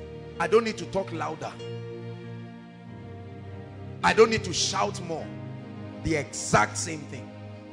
10 years after I have preached this, or I've said this, or I've delivered this lecture, I will still be getting paid from One of the cheapest aspects of education is writing. The ability to document your persuasion. For as long as you think there is something you want the world to hear, you can document it. The only problem is what many people call book writing is nonsense. They are just hungry people looking for money. So there is no excellence and no creativity. And at the end of it, only 100 copies are sold. And the bookstore tells you, please get out. But there is a key. Purpose-driven life. Right? Rick Warren, that one book brought tens and hundreds of millions of dollars. It was so profound they had to create a workbook for it. Love and respect. There are many books that have become bestsellers rediscovering the kingdom. Because individuals documented strong persuasions that rattled the ideologies of continents. Could there be a persuasion in your life right now that you need to birth and bring out you are sitting upon a gold mine and yet you are crying. Crying for food and crying for water. The only limitation to your life should be the voice of God, not lack of creativity. Is God speaking to us? Education. Number three, your job. Your job. Paid employment. It's a stream of income. So your job is not bad. You can get a job. At least you receive salary from it. And the beautiful part of that is that your salary can solve your short-term needs. Because you know every month a fixed income is coming. So it can give you room to focus on other things that will take time to build.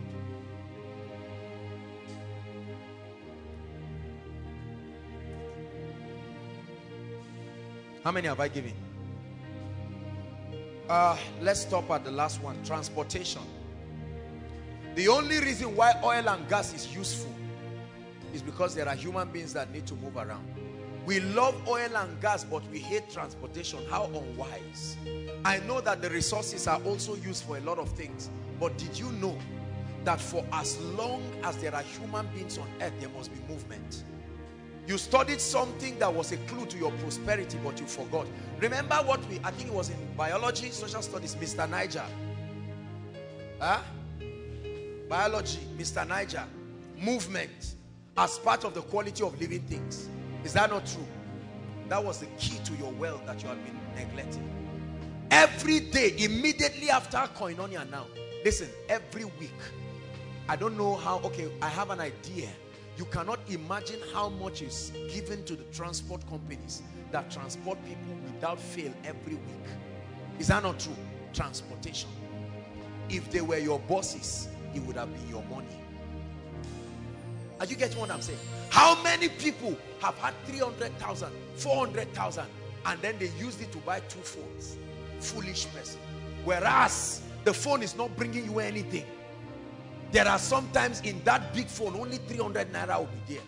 And you can't make any call. You cannot even browse. Whereas you would have been able to buy even if it was a small golf. These are the kinds of businesses that you don't even need to know how to drive.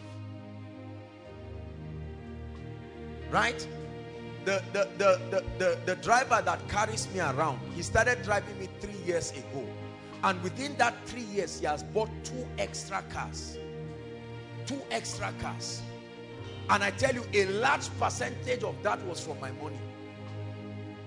Think about that. They are always happy. They you never see them frowning. They are smiling because every time he sees me he sees his destiny. And for as long as I need his services, I will keep paying for it. How many of you are sitting on millions, hundreds of thousands, roaming around, whereas, or trying to get rooms and apartments to prove a point that does not have to be proved. You want to show people, now you live in a three bedroom flat that is empty with one small mattress in one of the rooms and people think you are a big boy. You are not big, you are small whereas something would have been bringing you income. Let me tell you something. The transport sector is a mysterious sector people have never studied. It's a sector that starts bringing you money instantly. From the first day the car goes out, by evening money is coming. 5 a.m. in the morning, brothers and sisters, there are people who get up begging, whether it is town service, whether it is wherever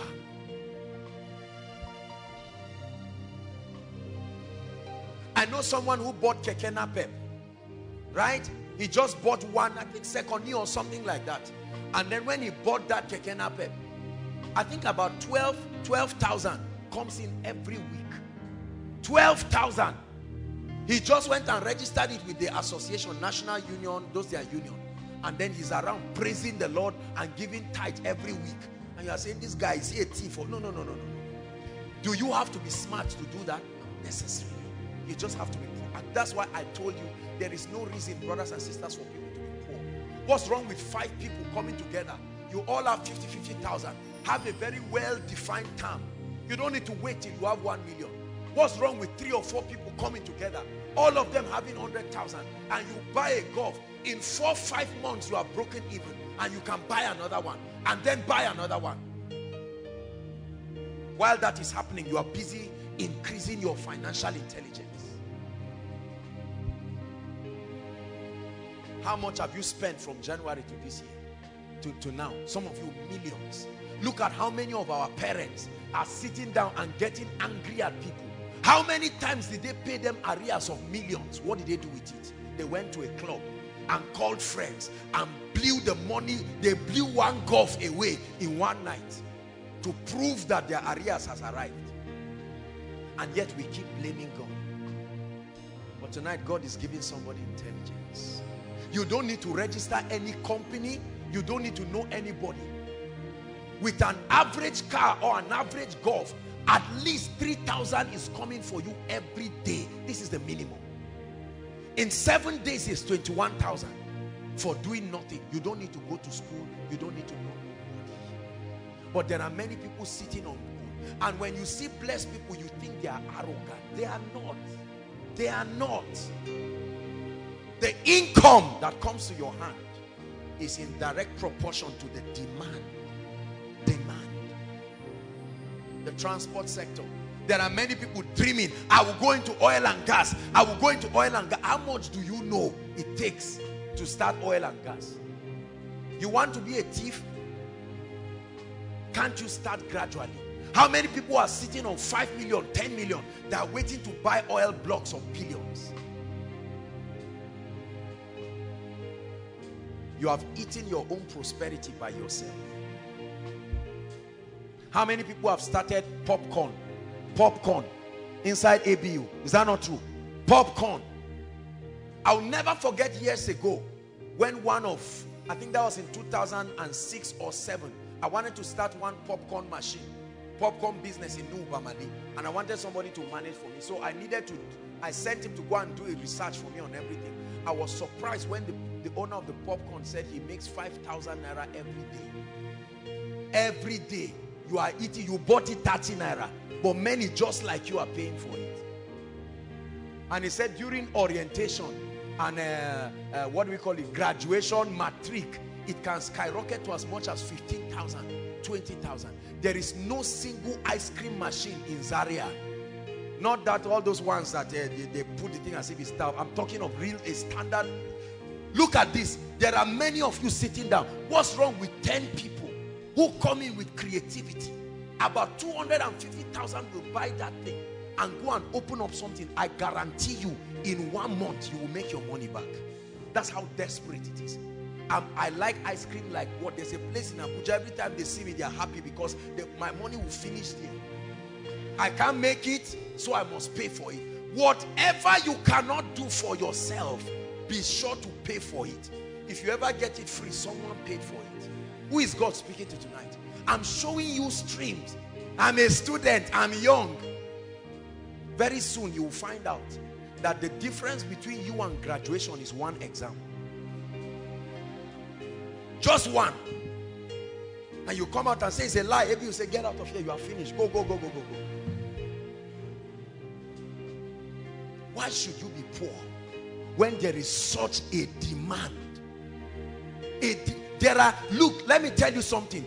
If you have 20 20 of any of the things I mentioned there will still not be enough demand. How many saloons are in ABU there are about 40,000 students. 40,000 students or more. And about 60% of those people are ladies. Count the number of saloons you have in your campus. Are they up to 10 I doubt if they are up to 10 servicing at least 10 or 20,000 people if you have 1,000 more of those things it will still not be enough. And yet we criticize those who are producing because we have been we have been wired to consume. That's all we do.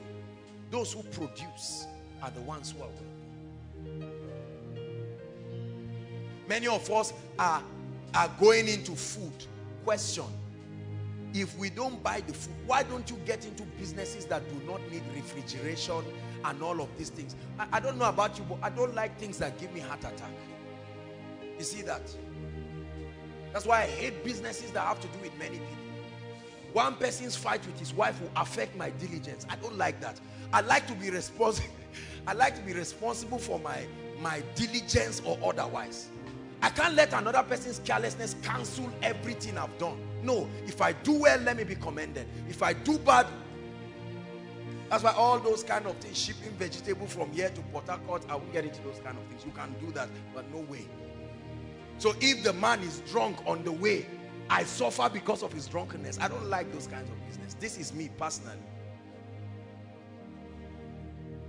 You have been sitting on a gold mine, wishing that things will change.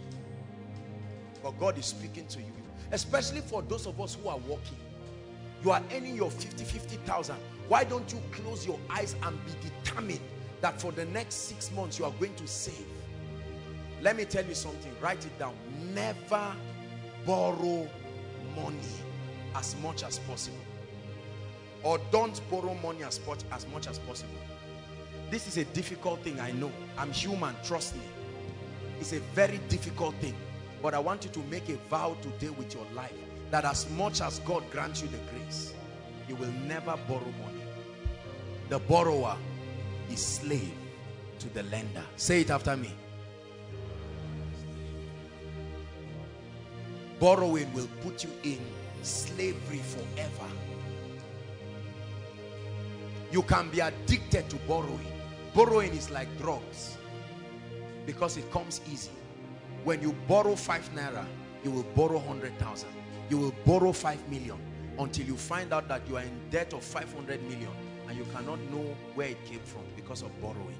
A borrower. Some of you as you are sitting down right now, not just from anything, maybe business failure or whatever, your own personal debt that you have eaten, everything you are wearing and the room you are staying off key, you borrowed money for it. You are smiling, but there is a pile of debt that is growing and you are borrowing to keep servicing it. You will be a slave forever. It is one of the Babylonian system. That's why you notice I never talked about borrowing. I'm sorry, I know that this insults a lot of your business book, but I don't believe it. In business, we teach that there's good debt and there's bad debt. You use good debt as a leverage, you use bad debt for consumption. No debt is the kingdom's way. No debt. Say it. Shout it again.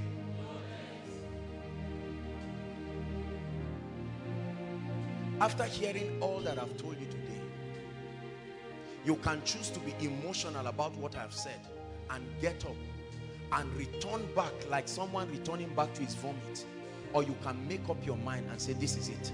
I've come to the end of myself. Lord, I'm ready to begin to take decisions. Listen, the key to producing anything in life is to adjust. The most predictable thing in life is change. Change is the most predictable thing. Whether you participate in it or not, it must happen. There are two kinds of people. There are victims of change and there are initiators of change. Whether or not you want things to change, it must change. Listen, a time will come, all your friends will rise and leave you if you don't change. You will either be a victim of the change or a benefactor and an initiator. In Nigeria, many people are the recipients of change. The wealthy people are the initiators of it. I choose to be in that category. I refuse to just be a benefactor of change or just a, a, a victim. Whatever happens, I ride with it. No, sir. We are going to pray. Rise up on your feet. Psalm 66, please. Psalm 66, verse 12.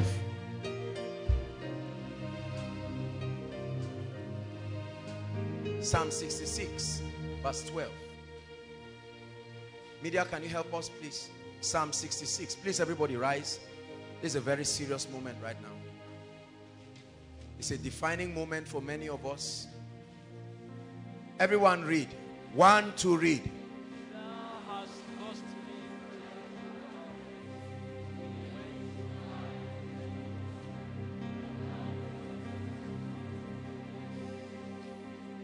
It says we went through fire. We went through water. We went through times of hardship and turbulence. But by your wisdom, you have brought us into a wealthy place. I announce to you, Koinonia, there is a place called the wealthy place. There is a place. It's a place of plenty. It's a land of abundance. And it is absolutely left to you. I read you a scripture that the profit of the earth is for all. Take over, take over. I have come to the end of myself. Take over, take over. I have touched the end of myself. Hallelujah, hallelujah. I have come to the end. Hallelujah, hallelujah. I have come to the end. Sing it from your heart. Take over, take over. I have come to the end of myself. Take over. I have touched the end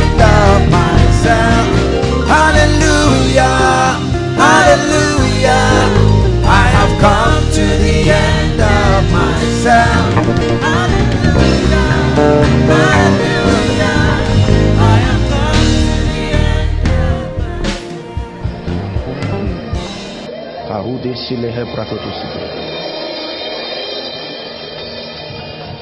We see the rain of your love. We feel the wind of your spirit. Now the heartbeat of heaven let us hear. We see the rain of your love. We feel the wind of your spirit. Now the heartbeat of heaven. Let us hear. So let it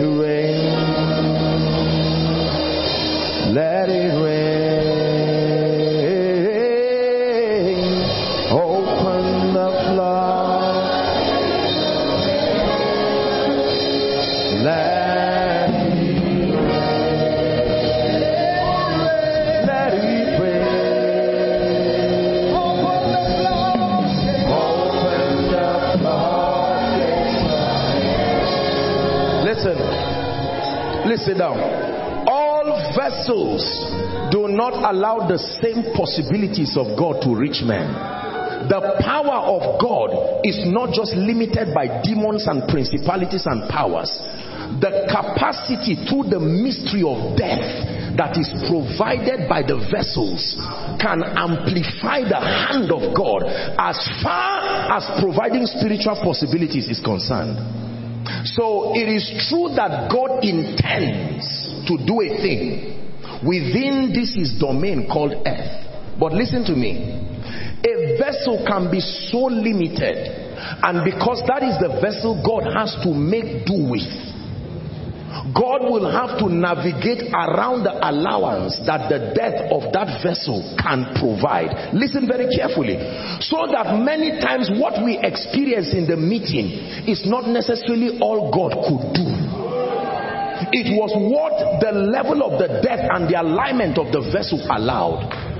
Therefore, we are mandated as privileged stewards of this mystery to continue to die and to continue to expand because there is a relationship between our death and the glory that is released. Hmm. Are we together now? Most of us are not aware of how many things on earth really depend on men. There are so many things on earth that do not depend on God. But the world of men is where the allowance or the disallowance happens. And this is a deep mystery because God made it so. Did you know that you can have a vision of you being delivered and you being blessed? The challenge is that the miracle you want to receive does not just come generically. You see, the miracle you want to receive must be lower than the level of death I have gone through to really reach you the way it left heaven. If you are faced with a situation that is higher than the death level of that vessel, as mighty as God is, that vessel will not be able to receive the richness of what was sent to heaven. This is more than just being anointed. This is becoming a conduit for greater, heavier, and weightier dimensions of the possibilities of God to reach men. I arrived and my eyes was almost full of tears as I saw the crowds of people. I know you came to see God. We agree. It is true. But you can imagine in a meeting where people start and welcome the Lord Jesus Christ and yet burdens remain there. Challenges remain there until a man shows up and then the burdens begin to go. God was there right from beginning of the service. Are we together now? This is very powerful. And every time God grants us the privilege to grow and to transit in the Spirit, we rejoice not just for ourselves alone, but that we have been able to capture greater dimensions of possibilities for the sake of the saints. So that what could not be solved yesterday can now be solved today. This is the beauty of growth. This is the beauty of power. This is the only justification why people should continue to listen and receive from a man. It should be predicated on the fact that there is an intentional commitment to grow, to expand, to be able to host more of God.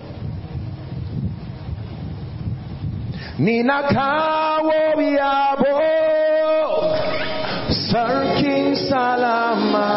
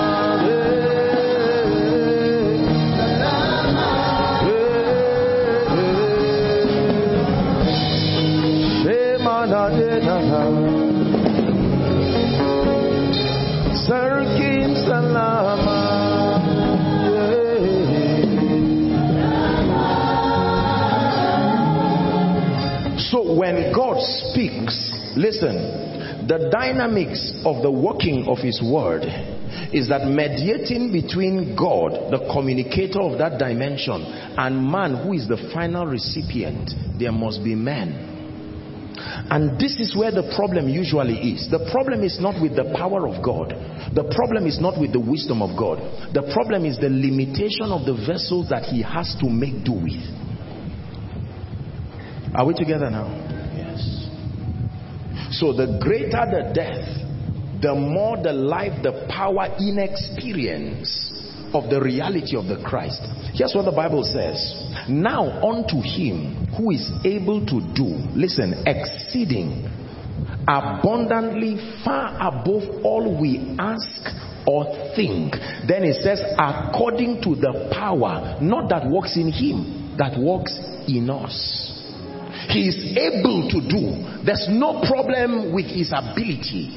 But that ability, the manifestation is limited by the power that works in us.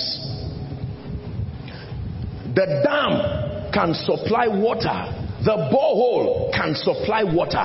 But what enters your bucket finally is the size of the opening from the nozzle of the tap. If the tap is open so small, it can make the dam look limited. And you can be receiving drops of water and you will have to make do with what is coming. Hallelujah. Praise the Lord.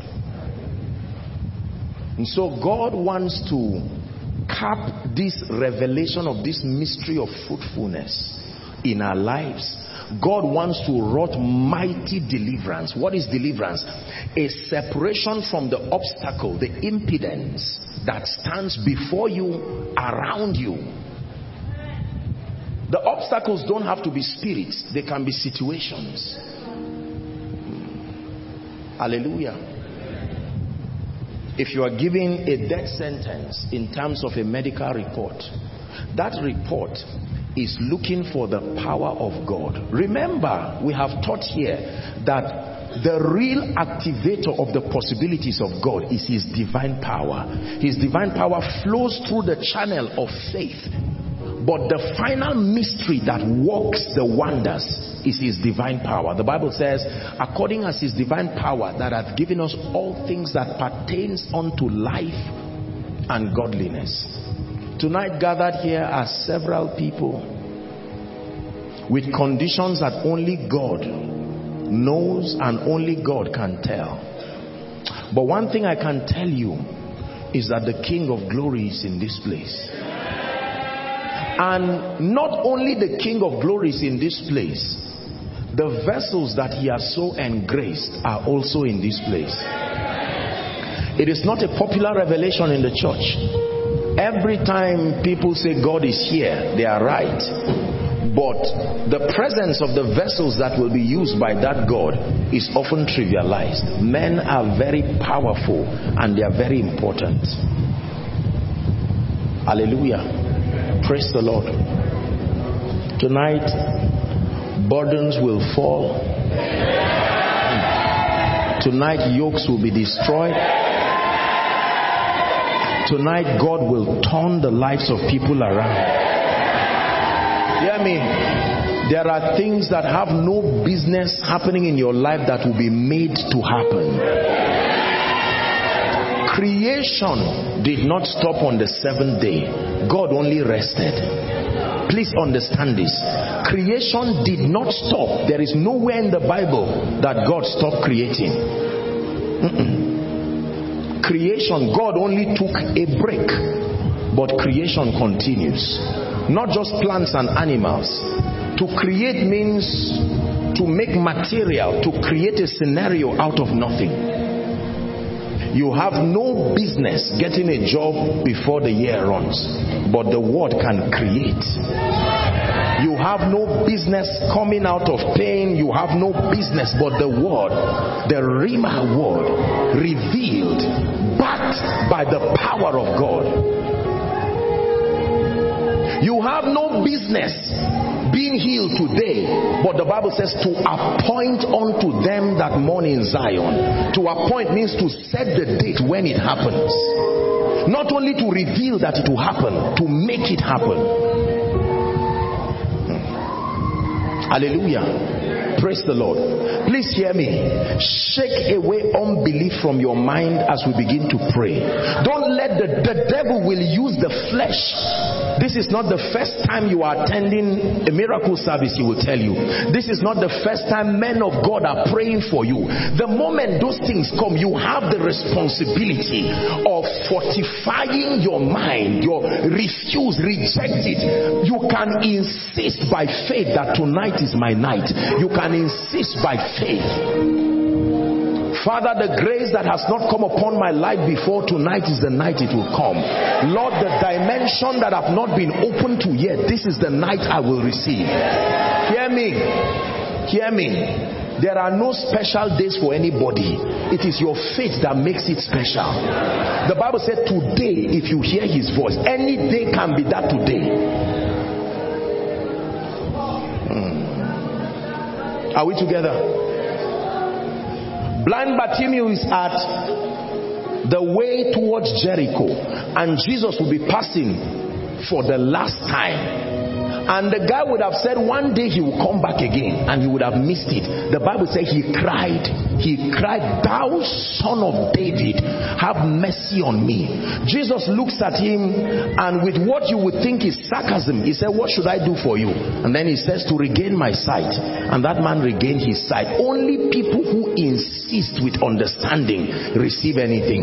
Hoping and wishing that God will touch me is a waste of time. We'll share the grace and you go back frustrated. But there are people who have come. Some of you have been fasting. Some of you traveled from outside of this nation, within this nation with hunger. There are people standing outside, people following online. Why will you allow the service finish and you just go back like that? You are a man of God. You have come from far. Why don't you carry something of substance that you can go back with as a witness that you met with the power of God? Is God speaking to us? One scripture and then we'll pray. Isaiah 61. This is a scripture that is very powerful. The hand of God is moving in overflow one. I continue to see this thing overflow one. I'm seeing it's an impartation, it's not just a deliverance. There is a pouring of graces that is coming on specific people. The Spirit of the Lord is upon me because the Lord had ordained, the word anointed there is ordained, ordained me to preach good tidings to the meek. He had sent me to bind up the brokenhearted, to proclaim liberty to the captives, the opening of prison to them that are bound. Verse 2 to proclaim the acceptable year of the Lord, the day of vengeance of our God, to comfort all that mourn. All, not some. Three, to appoint unto them that mourn in Zion, giving them beauty for ashes the oil of joy for mourning, the garment of praise for the spirit of heaviness. It says that they might be called the trees or the oaks of righteousness, the planting of the Lord that he might be glorified. Go to verse 4. And they shall build the old wastes. They shall raise up the former desolations. They shall repair the waste cities and the desolations of many generations. I believe in the power of God. I believe in the anointing of the Holy Ghost. I believe in the limitless dimension of what the Spirit of God can do upon it. How shall these things be? Mary said, seeing that I know not a man. He says, the power of the highest shall overshadow, not come upon, overshadow. You are under the influence of the Spirit of God and under the influence of the Holy Spirit, there is nothing that cannot happen. Please listen to me. Under the influence of the Spirit, time can be compressed. Under the influence of the Holy Spirit, there are things that should not happen but can happen now the Lord is that spirit, the Bible says. This Lord we have been talking about is that spirit. Not just the Father seated on the throne. The Lord who delivered the righteous. The Lord who anoints is that spirit. And it says, where the spirit of the Lord is, you will know that he is there by the miracles. You know that he's there, not just because you ask him to come alone. You are here working miracles. I worship you. I worship you. You are here, turning lives around. I worship you. I worship you. You are here, release destinies. I worship you. I worship you.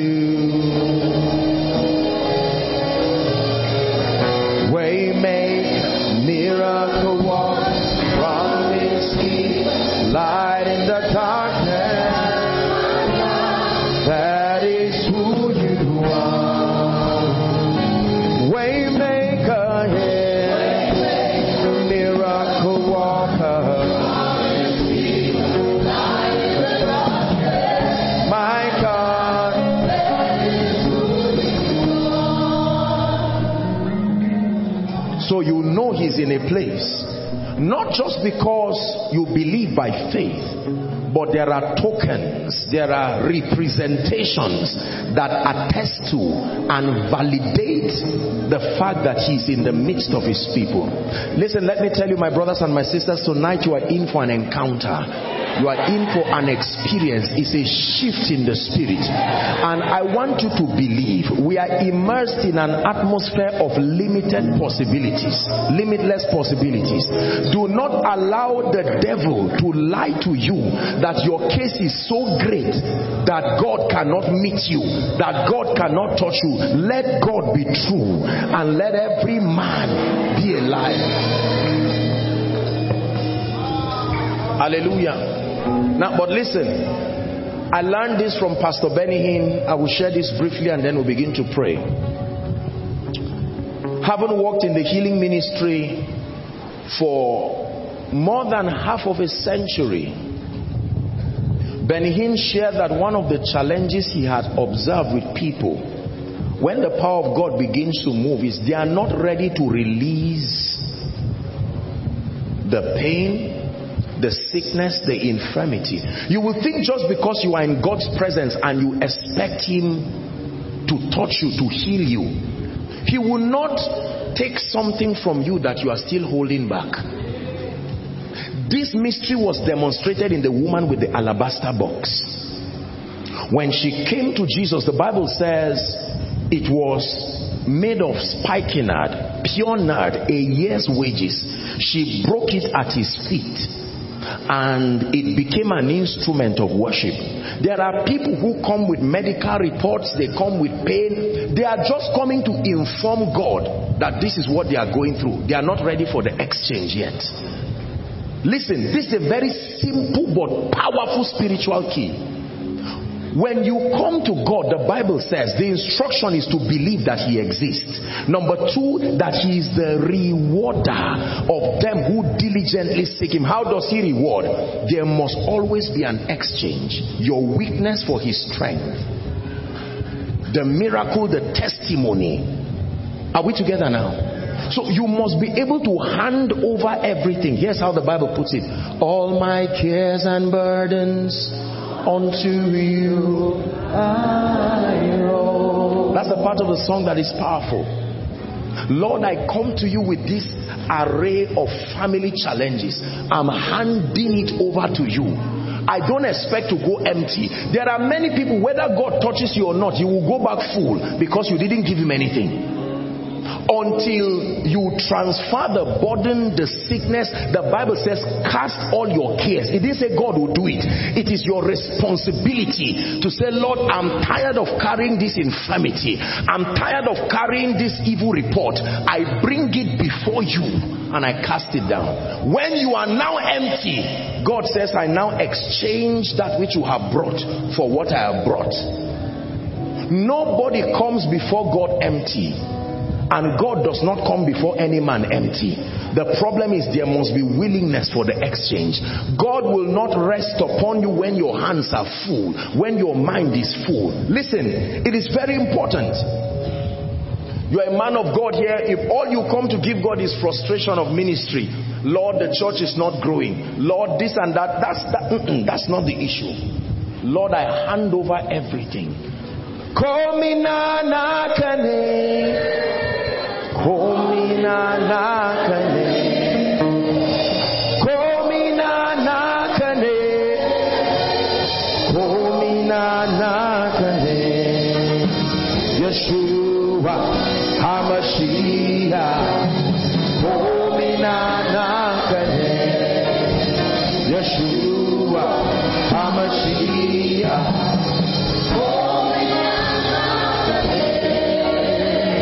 So it's time to carry your bills that is killing you and surrender it before Him.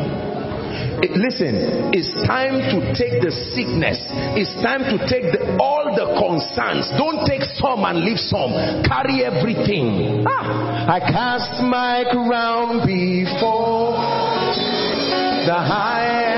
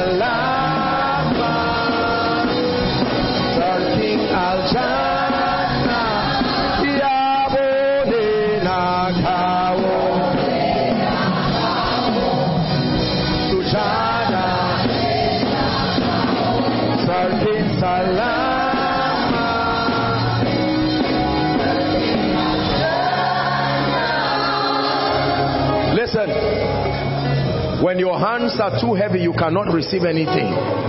You will need to take away, bring the report from your office, bring the report from a doctor, bring everything. When you lay it at his feet, you now lift your hand ready to receive the healing, the miracle. You don't come before God just to inform him. No. God is not interested in just being aware. He's interested in doing something. Cast your care. Listen. Coming to God and releasing everything is proof of faith that you come before him and say, Lord, if you do not help me, I don't know where the house rent is coming from. We are 11 in this family and it's clear that there is a yoke upon this family. You may think, listen, you may think because you are always appearing before him, it means you are casting your care. No. You have to intentionally, consciously say, Lord, I don't want this sickness again. Take it. I'm tired of this life of poverty and failure. I'm tired of this life without results. Are we together now? Yes. And one of the ways that we cast our care is through worship. Another way that we cast our care is through prayer. Very powerful. You can pray and say, Lord, take everything, take everything tired of the burden of ministry, tired of the burden of my family. This is not how you designed me to walk. Take it. And then when you are now empty, remember when there was no more vessel, the oil stopped. Are we together tonight? It does not take God anything to lift you. It does not take God anything to bless you. It does not take God anything to cause men to bless and honor and lift you. Listen, Benny Hinn said that many people come to his healing crusades and they are ever conscious of their sicknesses, conscious of their infirmity, and even when the power of God is flowing, the fortitude for reception is not there because they are busy meditating. The size of this problem, can God solve it? And God is wondering and saying, Who told you? Who, who educated you about me? Who told you about me? The Lord, the maker of the heavens and the earth. Tonight, God is able to transform. Tonight, God is able to heal. Hallelujah. To transform and to heal. Apostle, you don't understand the gravity of my situation. That's why. It's your mind and your perception that is being enlarged by the power of darkness when God comes, the Bible says the mountains skip. Skip. And he clears a way for you. Is someone ready to pray? Please rise up on your feet.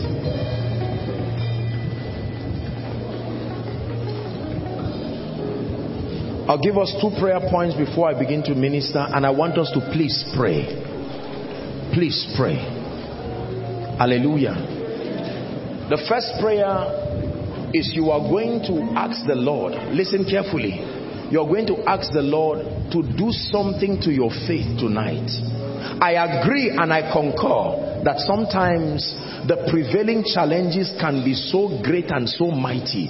You will sit down and begin to wonder in our finite minds, how will God navigate this and bring and birth this miracle for me? Are we together now? This is where the spirit of faith comes the faith of God. It says, This is the victory that overcomes even our faith. You're going to pray, Lord, my faith is strong. I believe you. I believe you. Lift your voice and pray. Let it be from the depth of your heart. Tonight, my faith is strong.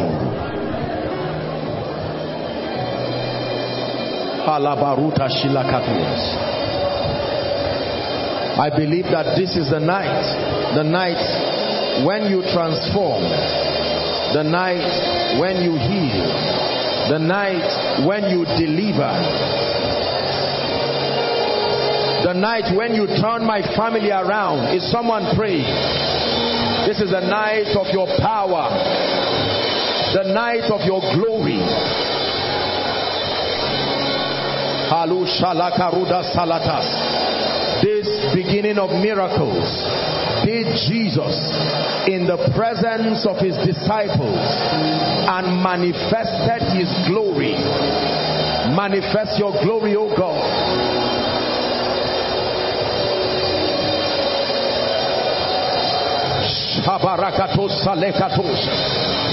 Father, help my unbelief.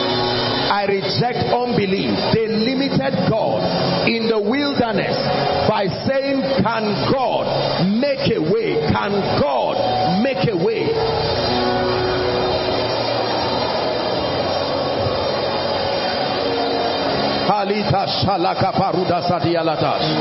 You are in ministry, pray.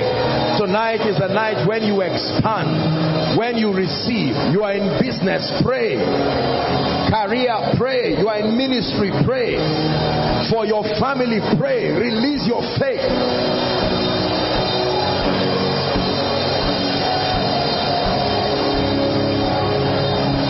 Shila barakato Empraka parudo soprata labaruda sedekash. Rakata parada baradu celebradisha le kurianda kasalabash.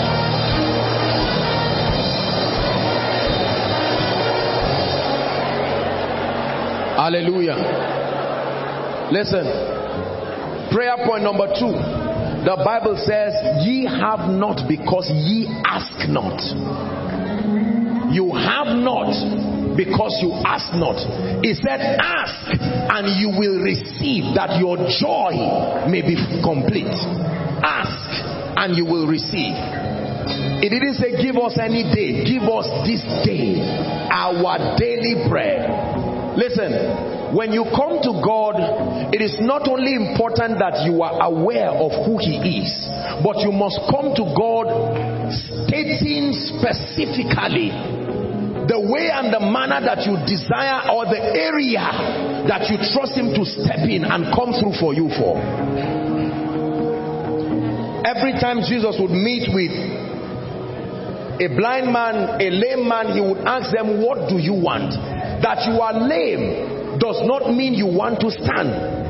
You must be able to verbalize your requests. You must be able to communicate. Listen, I know that many of you have written your prayer request, but I want to give you the next two or three minutes alone with God. Open your mouth and state the things that you desire by faith to happen to you tonight. Lift your voice and pray. Someone is talking to the Lord. Communicate your expectation.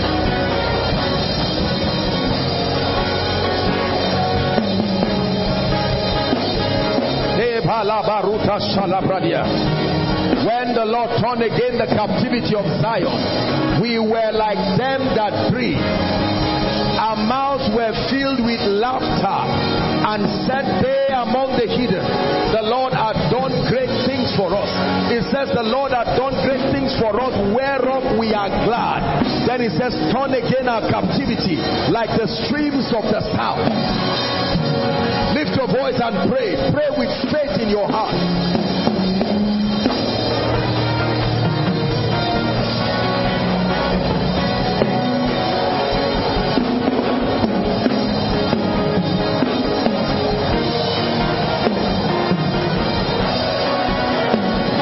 Balarabo. Granta lato.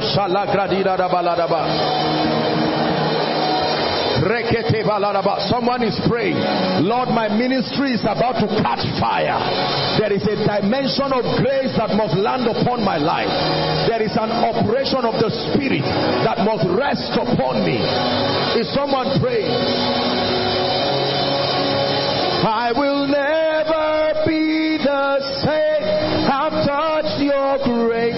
My life is changed. I will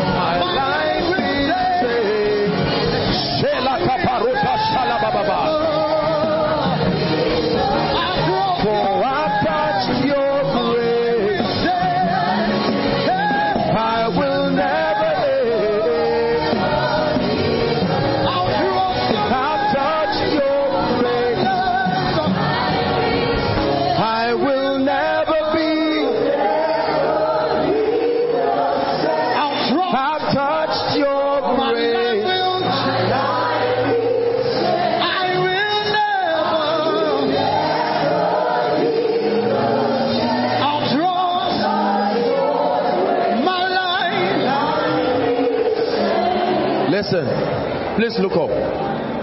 It is not very difficult for a man's situation to change.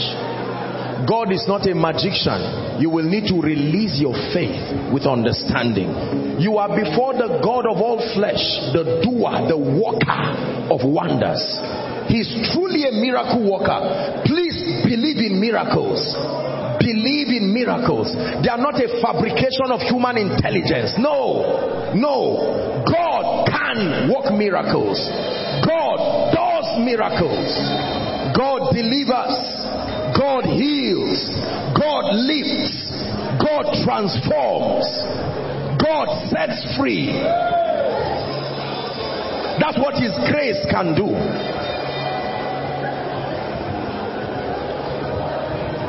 never be the same. I've touched your grace. My life must change. I will never stay the same. I've touched your grace. My life is changed. I will never preach the same. I've touched your grace. My life is changed. I will never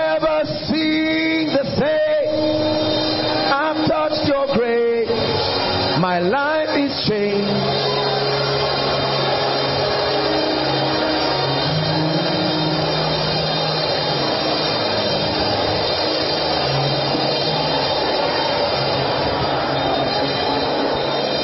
Hallelujah. Hallelujah. In the atmosphere of God's glory, Listen. Don't wait until you are called by prophecy. Don't wait until you are prophesied upon. Let your heart be open to receive.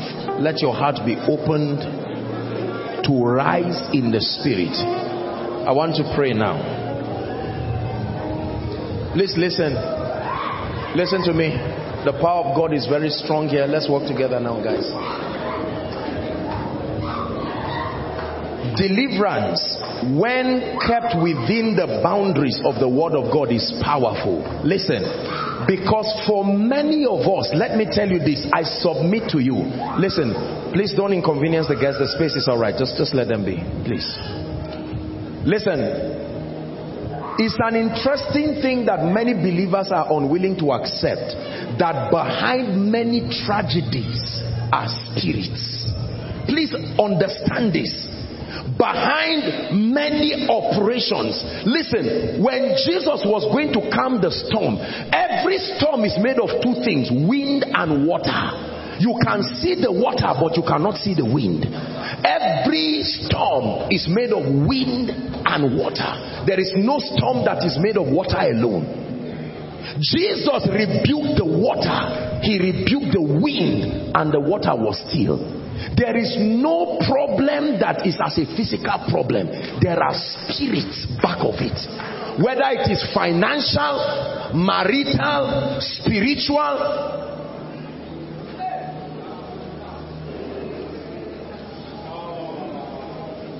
One of the biggest deceptions of darkness is to believe that your issue is just sociological or just marital. No, sir. No, sir. There are spirits, more spirits than men on the earth. In one man, there was a legion. In one man. That's to tell you how much scarce bodies are on earth for these spirits. 6,000 spirits in one man. Please listen to what I tell you. Your financial situation can be masquerading itself and dribbling you all around. And it, yes, there are principles here and there, but hear me, you are not free until the spirit that sponsor the operation is dealt with. Are we together? There are, you can only judge situations by what has affected you. The one that has not affected you yet is there. But just because it has not happened yet, you may not know. So the secret is to address the spirits behind it and not wait for them to create different scenarios that show you they are there.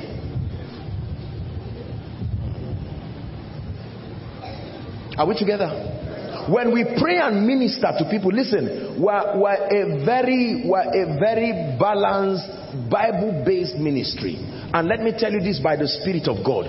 You do not help men when you leave the spirit that is back of their situations to go back with them. Now I know that here and there people abuse these things and do all kinds of nonsense that are not within the jurisdiction of scripture. This is not what we're talking about. We're talking of liberty that is provable that you can walk out before the service is done. You are seeing the evidence that this is what has masqueraded itself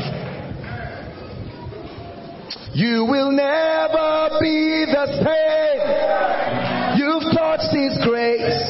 Your life must change. You will never be the same.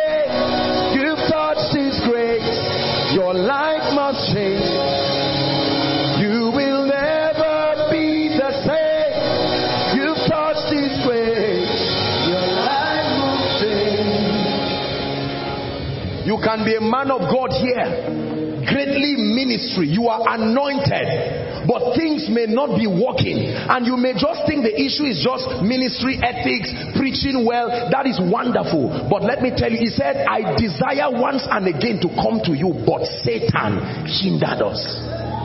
It is not only angels that are on assignment, there are spirits on assignment, there are demons on assignment, there are powers that are on assignment. Zechariah chapter 1 verse 18. What seest thou? Four horns. These are the horns that have lifted up themselves against Judah, against Jerusalem, and against Israel that these horns have made it that no man doth lift his head. He said, But I have sent four carpenters.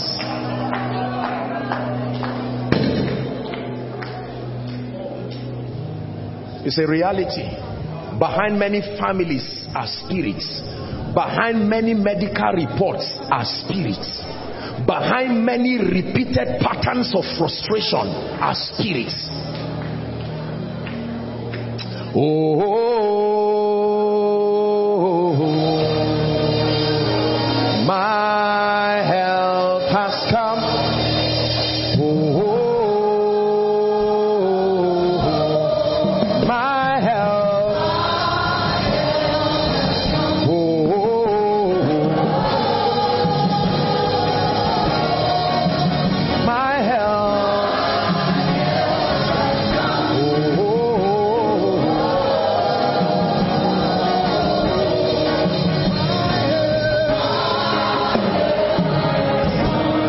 shared the testimony of a gentleman many years ago. He was in ministry and um, I had the opportunity to counsel him. And while I was talking with him, as he entered my room, I saw a spirit just entering with him. And I looked at this dear gentleman, lovely, adorable, wonderful person.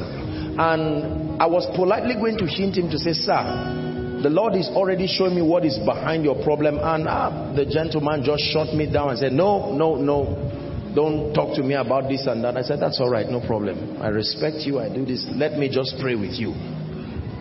That's all I requested from him. The last thing he could remember was me beginning to pray. And then when he recovered from himself, like almost an hour later on, he got up. And for the next three days, this gentleman kept reaching me and said, Apostle, you have rattled my theology.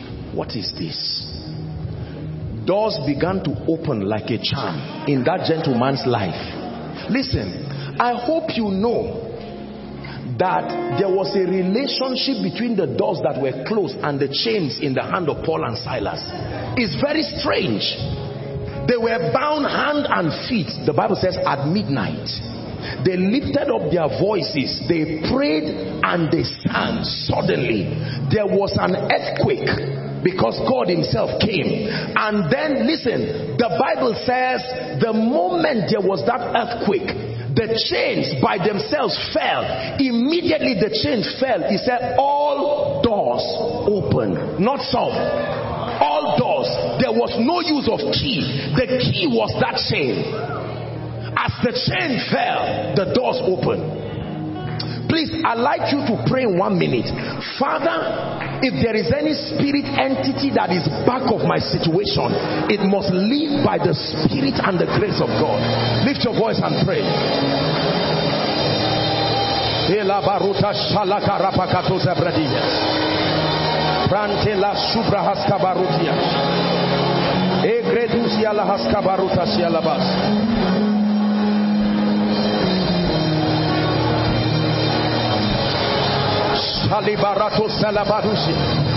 By the power of the Holy Ghost. Tonight in the name of Jesus every spirit that is not of the Christ that is back of the situation around my life, my family, my business, my ministry. Pray.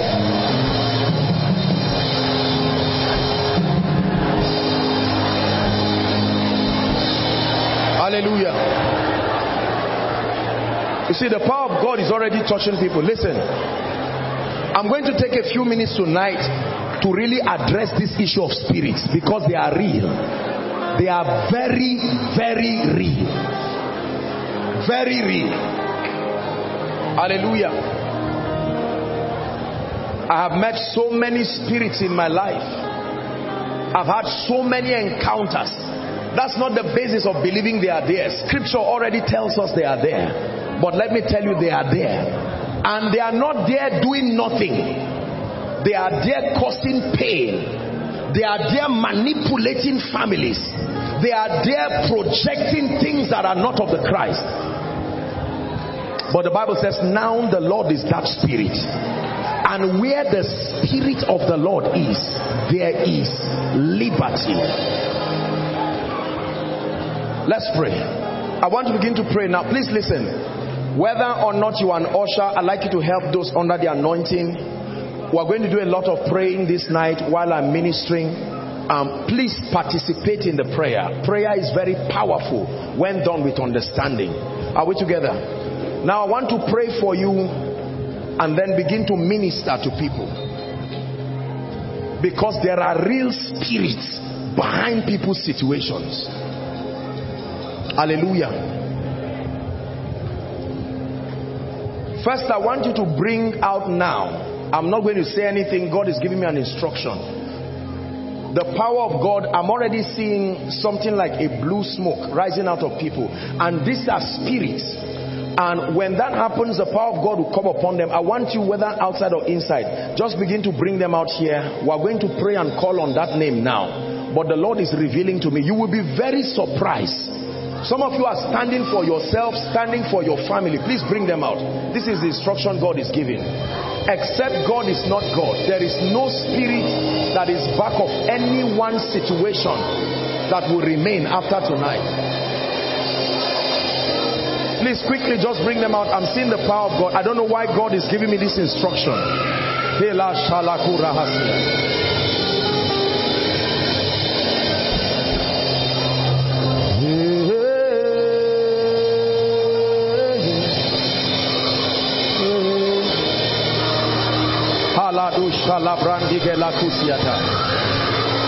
Even the lawful captives shall be delivered. Even the lawful captives shall be delivered. Even the lawful captives shall be delivered. I will contend with them that contend with you. Even the lawful captives shall be delivered. Even the lawful captives shall be delivered bring them out. Let's just walk with what the Holy Ghost is doing.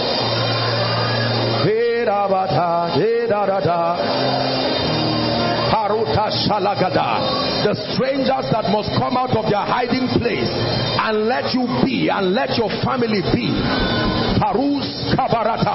There's fire burning in this place.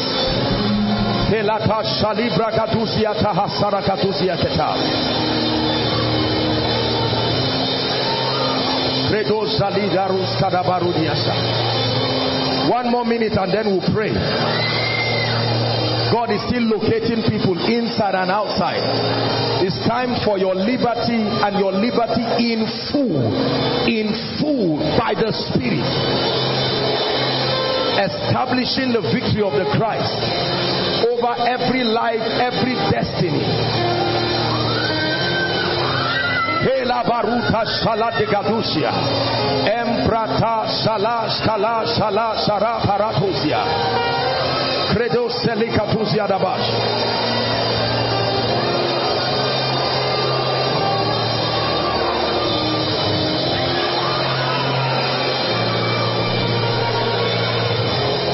All right, we're ready to pray.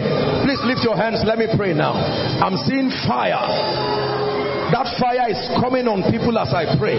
In the name of Jesus Christ, the Son of the living God. As you shout that name, Jesus, I declare by the blood of the eternal covenant that every legal access upon which the devil is laying claim over lives, over bodies, over finances, over destinies, I invoke help that woman by the blood of the eternal covenant.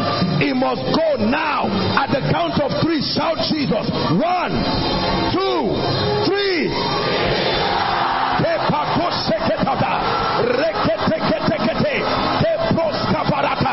I cause darkness by the power of the Holy Ghost.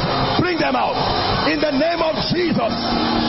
I command the powers that be by the blood of eternal covenant that everything that binds men to spirits binds men to realities in the spirit, I come against it by the God of Jeshurun. Please bring them out.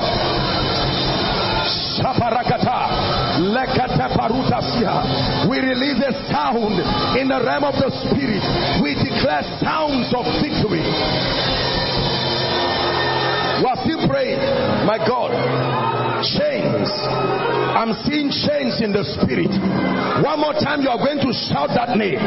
Lord, if there is anyone here under any kind of chain, the Bible says to release them that are bound. As you shout that name, no matter how long that chain has stayed, it's time for you to be released. Are you ready now? Thank you, Father, for the honor of your word. One, two, three, shout Jesus I break those chains now. I break those chains now. I break those chains now over families, over businesses. I break those chains now.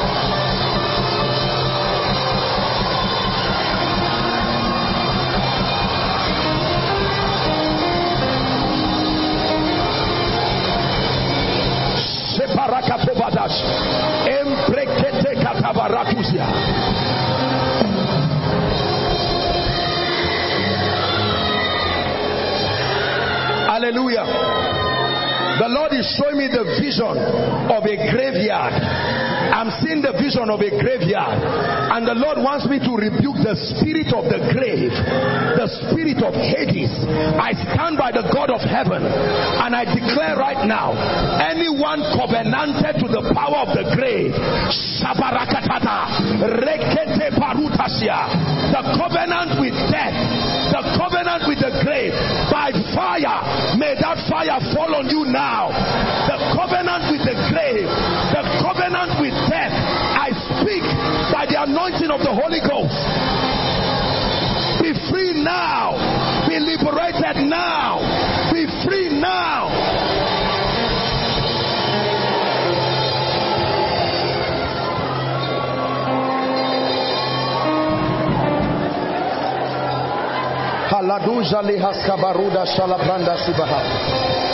Rakadiza nehesala kutua.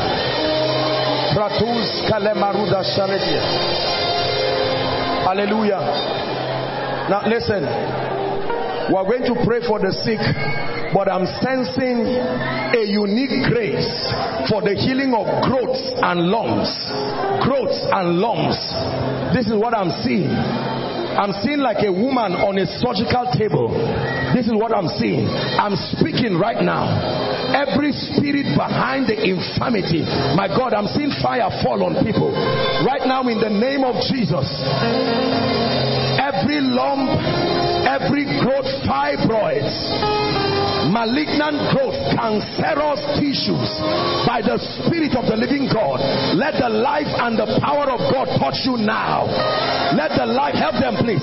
Let the life and the power of God in the name of Jesus. I command those growths to leave those bodies now. I command them to dissolve now. Help that lady please. By the power of the Holy Ghost. Growths I'm still seeing growth coming out of people's bodies. Swellings of all kinds. This is not limited to women alone, including men. Be free now in the name of Jesus. And we will never settle for less. We know there's more that's found in. And we will never settle for less. We know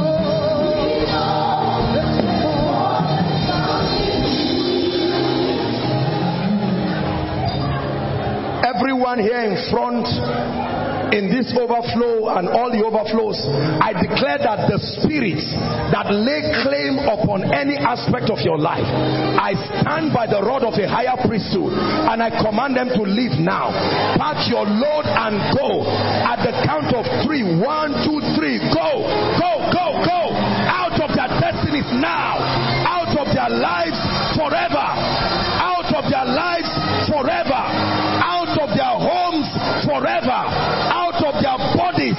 Forever.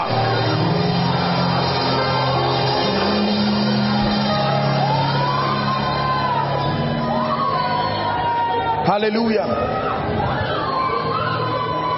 Please pay attention. We are still praying. Now, the Lord is showing me something that I don't see very often. I'm seeing an old gate and I'm seeing chains on it with a padlock. This is a sign of stagnation. You are here and mysteriously you have been in the same position. You try to move, you try to push. I'm about to smash that gate to pieces, not to open it, to stamp it down. He has broken the gates of brass and cut the bars of iron in sunder. Now help them, please. Listen, I want you to shout Jesus from the depth of your heart. I decree and declare every destiny here that has been tied down by men, by systems, by spirits, so that you cannot move. By this shout of the healer tonight, I declare every gate crushed and comes down now. Are you ready? At the count of three. One, prophesy to you. Move forward. Go forward. Go forward. Go forward. Stagnation comes to an end. Ritro apakoto shala. Reketeketekete. Sheleto sabaka stagnation comes to an end, retrogression comes to an end. Hallelujah. Who is Bukola? I'm hearing the name Bukola. Bukola. Our time is gone. There is still a lot to do. Who is Bukola?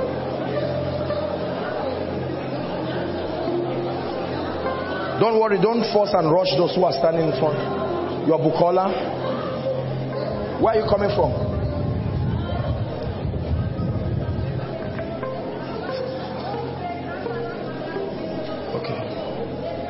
Let me pray for you, my dear. Stand up and I'll pray for you. You are also Bukola. My dear, hold my hands.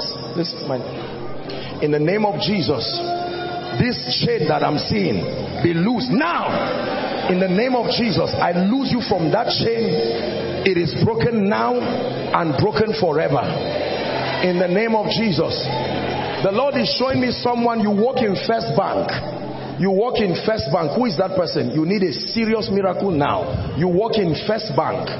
First bank. Let's hurry up please. You work who is that? First bank. All of you are Bukola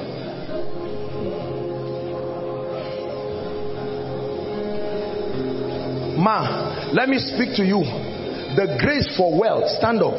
I'm looking at you and I'm seeing currencies falling on you. And the Lord is telling me that there is a strange grace for wealth. this, this is this should be Kingsley's wife. In the name of Jesus, I decree and declare by the Spirit of the Lord, let that word come to pass now. I release you by the power of prophecy into that dimension. Prepared blessings by the Spirit. In the name of Jesus Christ. Hallelujah. I'll pray for everyone, but the power of God is going to come on one of you now.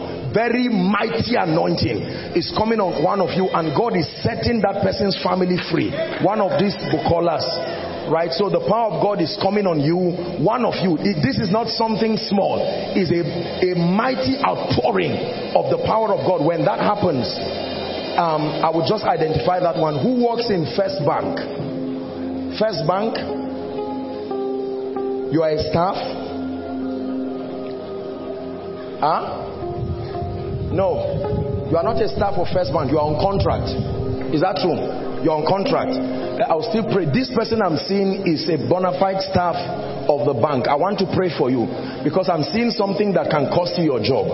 Father, show this, my dear brother, mercy by the grace of God. Look at me, sir. I'm seeing a whirlwind on your head. I need to pray against confusion and pray against stagnation. I declare in the name of Jesus, you are set free now and you are free forever. In the name of Jesus. Please make sure you are observing the ladies. The power of God is going to come on one. That's the instruction God is giving me. It's very mighty anointing. When it comes on that one, I want to pray for them. Your father is a general in the army. Who is that? Your dad is a general in the army. I need to pray. We need to rebuke conspiracies. The Lord is showing me your father. Is it a general in the army? Real army, military. Please, if you are that person, I want you to come. If you are that person, I want you to come. I want to pray for you. This is conspiracy. In the name of Jesus, over her family, let there be a mighty deliverance. In the name of Jesus Christ. In the name of Jesus Christ. I pray for all of you for the various reasons why you have come out. In the name of Jesus Christ. May the Lord Himself give you testimonies, very strange testimonies, in the name of Jesus Christ. God bless you. The Lord is showing me a vision. I'm seeing a family of five ladies. There's no marriage. One, two, three, four, five. Five ladies. Nobody has settled down. Where are you? Please come. Where are you coming from, my dear? From Jos. I want to pray. You are five of you all alive, five ladies. No one has settled down. What do you do? Contract staff Sterling Bank. Wait. Sterling Bank. Sterling Bank. You will leave the bank soon. Amen. Listen to me. There is another job that is coming for you. When that job comes, don't fight it. It's the will of God. You hear what I'm saying? I'm not saying you should go and retire now, but I'm telling you that another job is coming. Let's pray. It's not normal. We need to break this. I'm seeing three ladies in my vision. I don't know why there's only one person here. These five five families. Please make sure you don't tell lies. Don't just come and stand here if it's not. I will pray for everybody. Five families. None. Not one person has settled down. Ladies now. Don't cry, my dear. Jesus is in this place.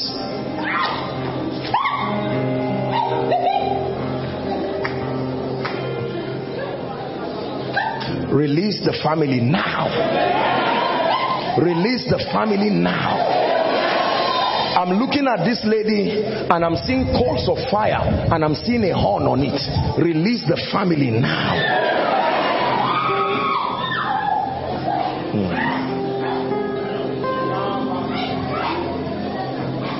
There is someone here. This is a very mysterious thing that happens to you. In a very strange way. This happens especially when you pray for extended periods. Your whole body starts itching you in a funny way. You know how someone under the influence of a, what they call that drug?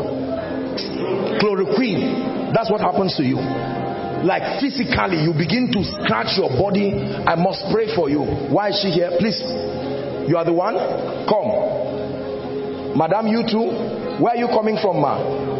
You are coming from Abuja. Come. We'll attend to the photos you are holding, eh? But for now, we need to pray for you. This is this is not just evil, very evil. I have to pray for you.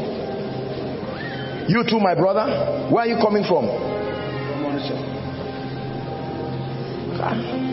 You see, my dear people, I'm, no, I'm not saying if your body is listen to the, the, the issue.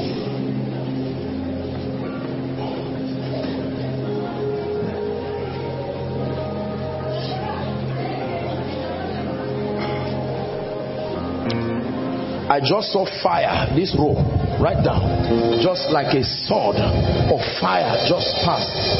I don't know who that is for, but in the name of Jesus, let it bring emancipation right now. Right now, in the name of Jesus. Look at me, my dear. You believe in Jesus? I bring you life from this kingdom that we represent. Be free now from this demonic, satanic oppression. In the name of Jesus.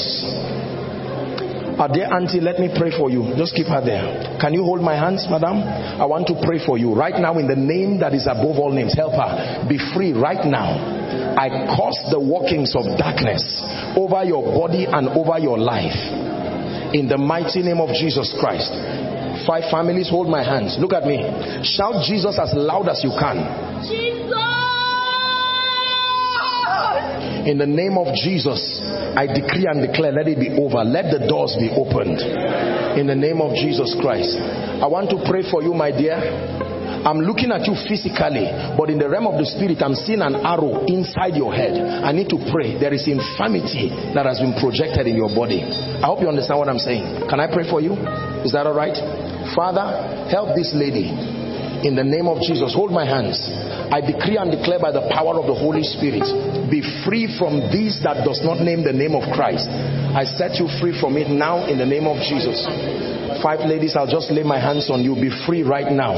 Let the doors be opened. Be free right now. Kai, let her go. Out now in the name of Jesus. She's also here. Your dad is a general in the army where are you from?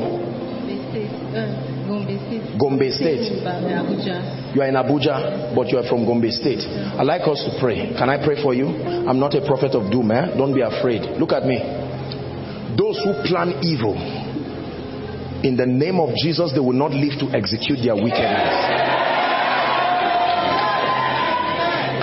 You see, Ba, my brothers and my sisters, let me teach you something about life. The Bible says a man's enemies shall be the members of his own household. Father, preserve the life of this our general in the name of Jesus Christ. In the name of Jesus Christ.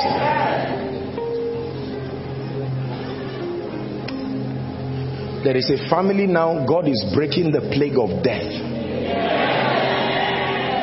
The power of God is coming I don't know whether they are inside or outside. The plague of death is being broken right now. There's a mighty anointing that is coming on that wise to set them free from the plague of death. Please come very quickly. I'll just touch you. I don't know why they are here, but we have to hurry up very quickly. Just a touch, believe by faith. It is over. Out of her now. In the name of Jesus. In the name of Jesus. Sir, where are you coming from? I'm from Abuja. From Abuja? Yeah. What do you do, sir? I'm a minister. You're a minister of the gospel. I want to pray for you. Where, where, where are you coming from? Where do you come? Your state of origin? Akwa Do you plan to go this Christmas? Mm, I'm not yet, but I'm not. Huh? I, I went for operation. Listen, that's what I want to talk to you. I'm looking at this man and I'm seeing you were supposed to have died. Is because of the intercession of men that you are alive. But then I'm, I'm not a prophet of doom. We anything god shows we cancel. You get the point now? I'm seeing this man going in a bus and i'm seeing a truck. I will not mention i'm not being antagonistic but the truck did not just shift your car. It climbed it. And everybody gone like that. You see when god shows a thing it is because of the strength he has put in his church the power to change it completely. Are we together? I want to pray for you. You are very sick. And even the surgery has not solved the problem. Because what I'm seeing is still there. Please hold my hand, sir. Father, in the name of Jesus Christ the Son, let this man not be given to the sword. Let him not be given to the grave. In the name of Jesus, I knock on the door of life and I speak to you, sir, by the power of the Holy Ghost be set free. I fortify you by the power of God's word and I declare death will be far from your dwelling. I speak that your going out is blessed and safe. Even your coming in is blessed and it is safe. In the name of Jesus, may the Lord show you mercy continually. In Jesus' name I pray. Family of five, I need to pray. Hold my hands. Oh yeah yeah, oh yeah yeah, oh yeah yeah, oh yeah yeah, Yahweh. Oh yeah yeah, say. Oh yeah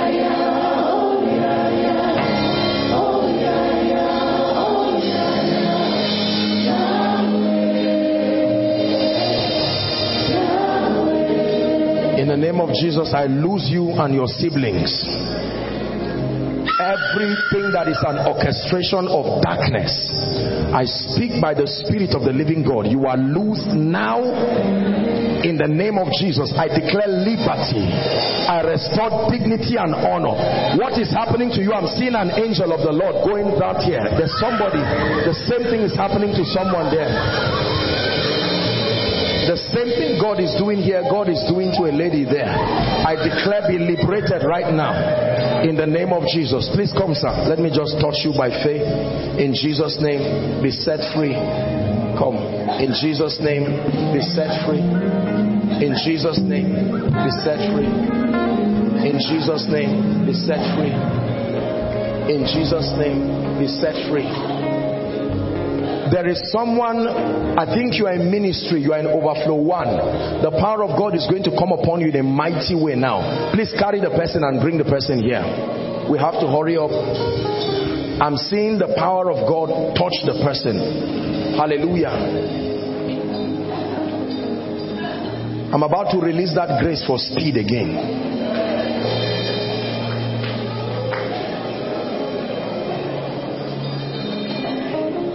Please come. May the Lord bless you. In the name of Jesus. Ah, ah, ah, ah, ah, ah, ah, ah. Shala I'm seeing the map of Nigeria and I'm seeing blood dripping around the east. And the Lord is saying, those who are easterners, is this is a, this is a sign and a wonder. When God shows me a map, whenever I mention that location, anyone who is oppressed within that location, the power of God comes on them. Right now, I'm seeing the east, the east. I release that power now. The Lord is bringing liberation, eastern states. I'm seeing blood drip upon them.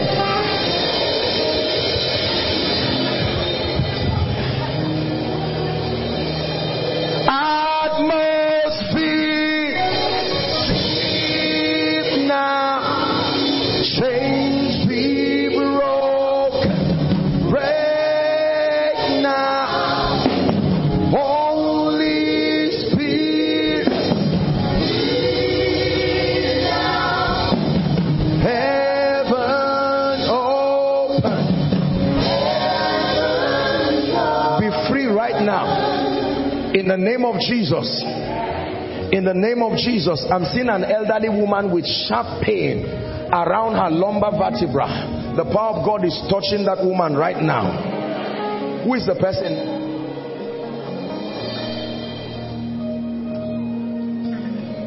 Mommy, you're welcome. One to pray.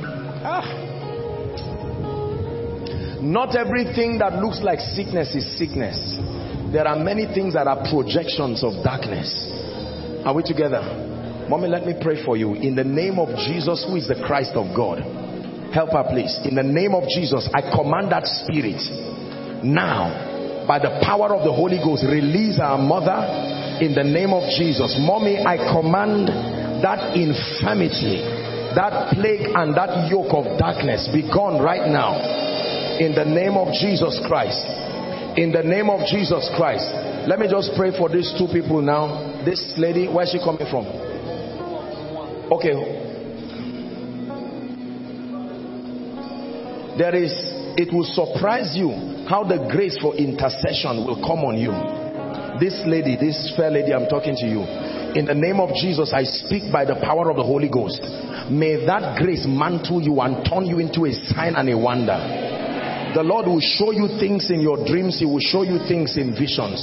Please bring our mommy for me. Let me pray. In the name of Jesus Christ. Um, just touch her back for me.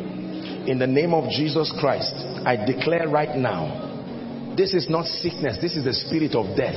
I command the spirit of death, hell and the grave to leave our mother right now by the power of the Holy Spirit. Complete emancipation complete emancipation in the name of Jesus Christ. In the name of Jesus Christ. In the name of Jesus Christ. The Lord is asking me to stretch my hands just here. I don't know why, but this is what He's saying. Just right here to the wall. I'm seeing, I'm seeing people's stomach, the abdominal region I'm seeing things like chains. Just bring those under the anointing as I'm talking. I'm seeing things like chains. These are devils of infirmity. The Lord is asking me to just stretch my hand. Please just allow me do my madness with God here and let the Lord set these people free. Please bring them out. We're hurrying up now in the name of Jesus. Karu salatu ziata. Kariza hasalam barita suba haseketa. Kradu shala sabah hasarata siakata. Rakata barada balakata prata sadabakato shalabrandas kabariata.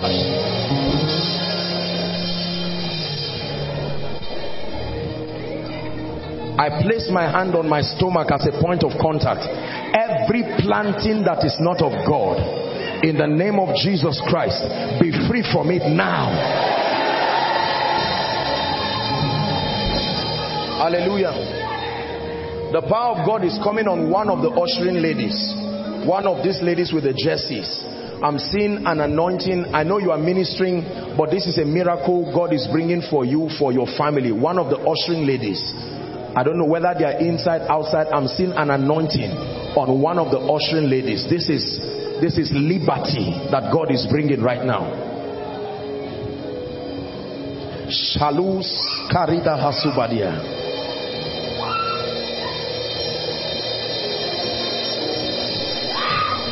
In the name of Jesus. My dear, look at me. Shame and reproach is living your life now. Shame and reproach is living your life now. The garment of shame and reproach is living your life now. Why is this gentleman here? You are not the anointing outside? Come. Hold my hands. In the name of Jesus, I pray for you. Come. You lifting your hands. Run. Come. Your time of change has come. Where are you coming from? It's, it's all right. It's okay. Don't worry. That's why you are here. Do you know me? That's why I'm saying you just relax. You were in the crowd and God brought you here. Do you know why God brought you here? Because things are not working at all in your family. God needs to turn things around. If I don't pray for you, what I'm seeing is you are celebrating Christmas morning and blaming people being the reason why somebody died and another person died because I'm seeing the spirit of death hovering around your family. But the Bible says now the Lord is that spirit. Let me pray for you. Hold my hands, my dear. What did you study? Do you have a job? I'm, I'm a corper in Ondo State. I'm, work, I'm, I'm a corper. I'm starting an NGO mm. for HIV in Ondo State. I want to pray for you. The favor of God that will come upon you from this miracle service will surprise you. You believe that? In the name of Jesus, I stay the power of evil over your family. And in the name of Jesus, I release you to a realm and a dimension of strange favor Receive that grace in Jesus' name. We're going to pray for the sick shortly, but I want to release this grace for speed. Please, I want you to believe there is a real grace for speed. If you don't have it, you don't have it. Period. There is a grace. Kashina, Kamuna, Sarkin Aljana Yanana Dashina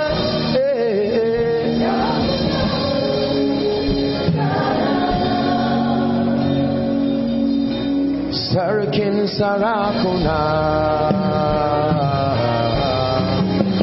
Yanana Sarkin Sarakuna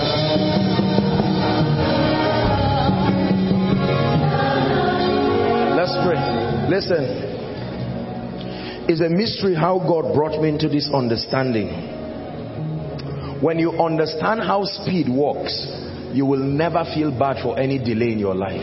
It's a strange system that insists that you catch pace with destiny. It works mysteriously. It works by compressing time. Time. Time dominion over time is what speed is about. I want to pray for someone now. Sarkin Sarakuna. Father, please, I know that when I begin to pray inside and outside, people will begin to run physically. Honestly, why God does it, I don't know. I think it's just a prophetic acting of what is happening in the realm of the spirit. But every time I pray this prayer, the hand of God comes upon people and you find out that sometimes they begin to run physically. And I'm going to pray that prayer now. There are people here. God wants to take 10 years and put in one year. God wants to take one year, five years and put in one month. Is it not written in your Bible that I will restore the years? God does not only restore things, He restores time. Whoever can restore time must be God Himself.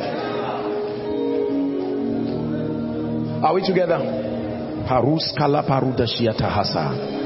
In the name of Jesus, I decree and declare right now Everyone under the sound of my voice, inside, outside. Parushalata. I declare at the count of three. Father, let this grace for speed, restoration, the mystery that gains time, may that grace fall upon people within this auditorium, overflow one, two, three, four online. In the name of Jesus, receive that grace. One, two, three. Take that grace now that grace. Speed. Restoration. I prophesy. Pursue. Overtake. Without fail. Recover. Pursue. Overtake. Without fail. Recover. In career. Pursue. In marriage. Pursue. In ministry. Pursue. I'm speaking by the Spirit. Pursue. Overtake. Recover. Pursue. Help that woman, please. Overtake, recover. Financially, pursue, overtake, recover. In your influence, pursue, overtake, recover in your academics. I pray for students, pursue, overtake, recover, pursue, overtake, recover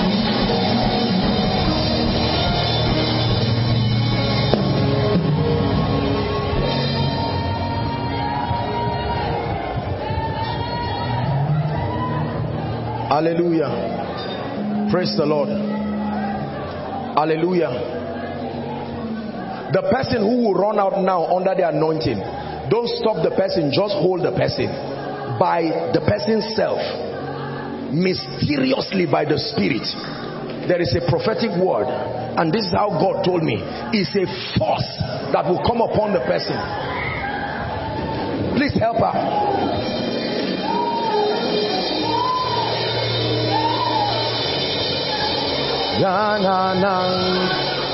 It will happen by the Spirit.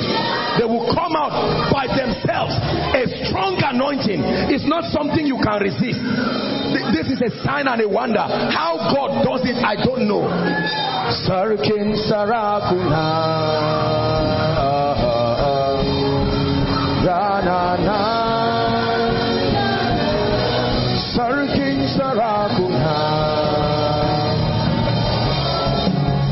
Na,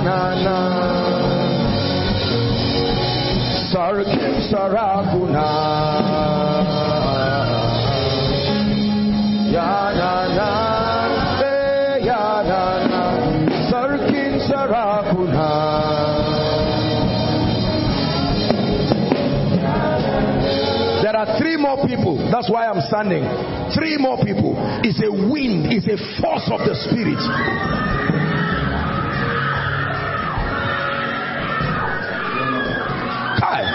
The wonder working power of Jesus. How the church has limited him, limited him, limited him. Please help them. Make sure they don't injure themselves.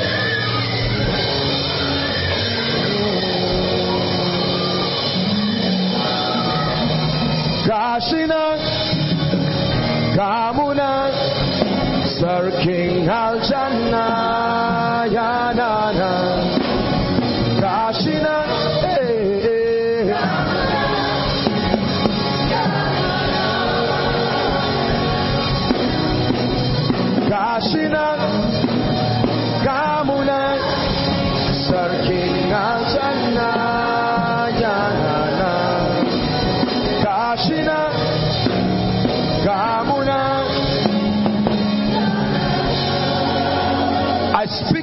these ones that have come out by the Spirit. I'm declaring right now the chains that hold your feet. I'm seeing their legs specifically, their legs with chains. I lose you now. In the name of Jesus, I release you to destiny. I release you to destiny. I release you to destiny by the power of the Holy Ghost. No more delay, no more retrogression by the Spirit of the living God.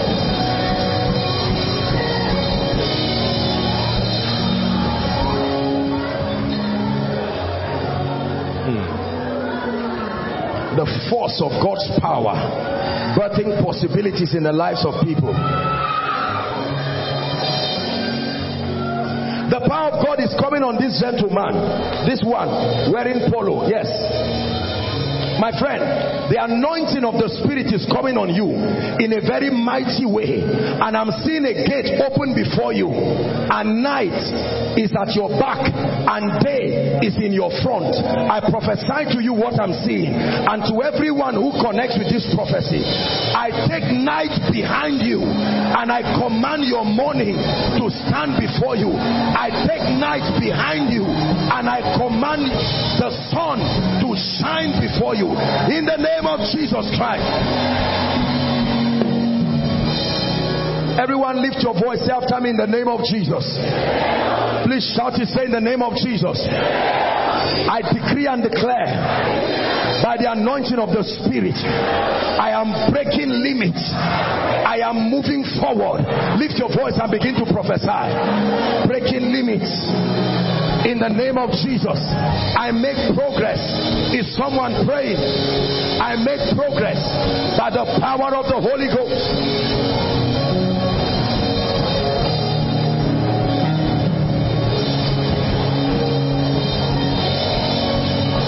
Breaking limits. Breaking limits. Ekretus kaba shalada. Emprekoto.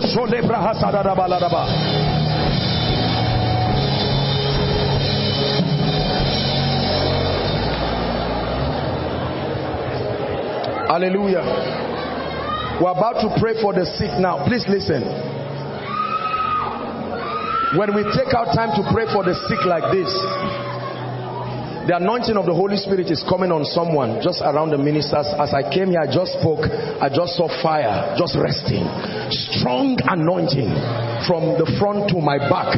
Strong anointing. The Spirit of God is resting upon people, moving, shifting by the Spirit of the living God. How forcible. Pastor, there is a grace coming on you the HICC pastor, a strong anointing shifting you by the Spirit. Step into a new dimension.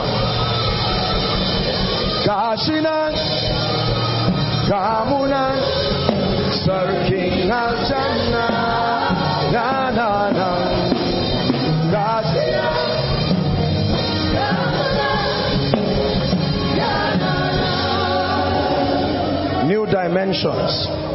We want to pray for the sick now. Listen very carefully. I believe in miracles.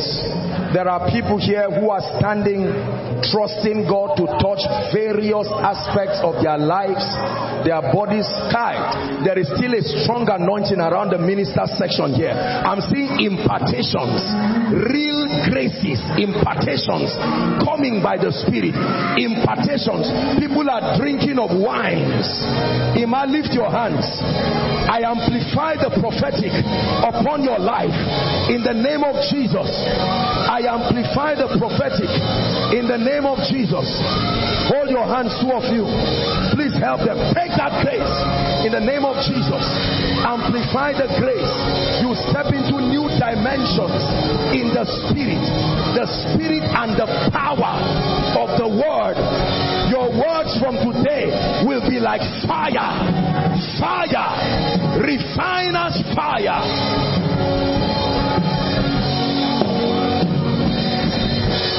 Sarkin Sarakuna Yanana Yanana Sarkin Sarakuna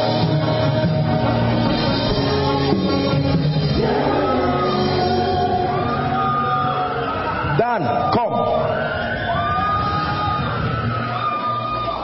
Hold my hands. Grace is given for you to rise. No more delay. I place a ladder before you and I shift you by the Spirit to the amazement of many. May your life change. Change like day and night.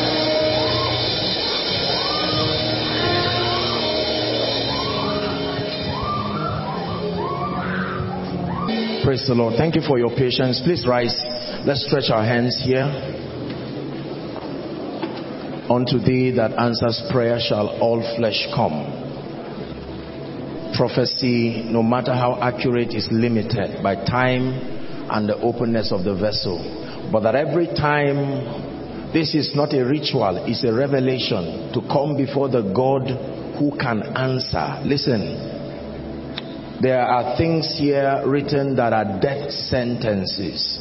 There are things written here that will take only God to provide a miracle for. There are things written here that are age-long captivities.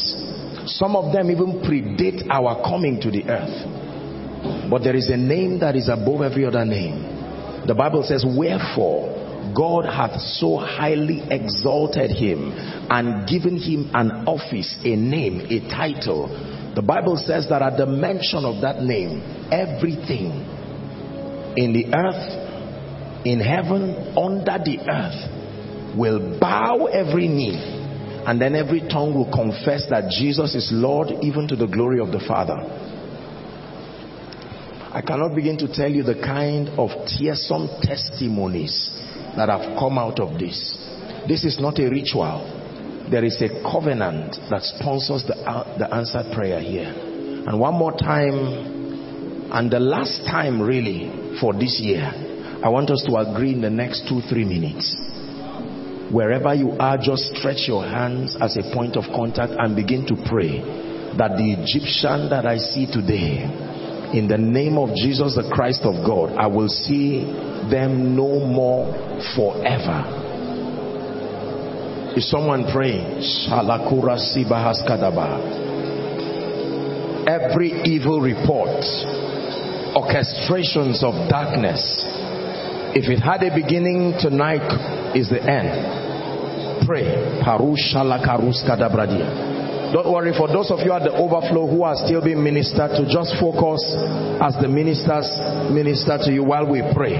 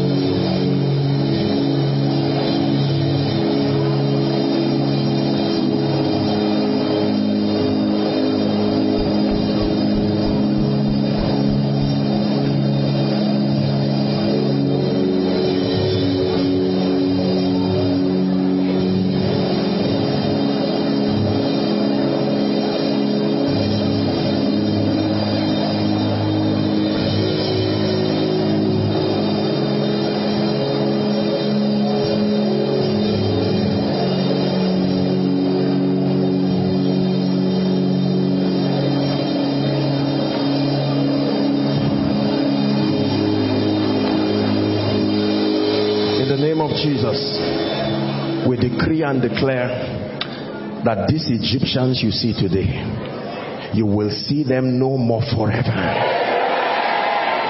Father, we bring before you every situation here marital situations, financial situations, spiritual situations, career situations. In the name of Jesus, we bring them under the covering of the blood. Every legal access upon which these requests continue to remain by the blood of the eternal covenant, we nullify that access now in Jesus' name.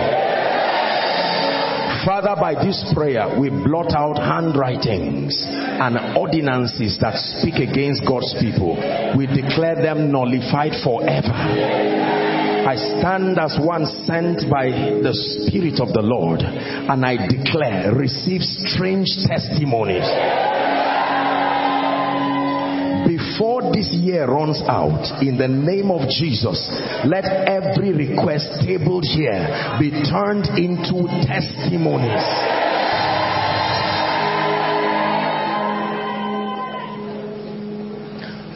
Testimonies are largely answered through men.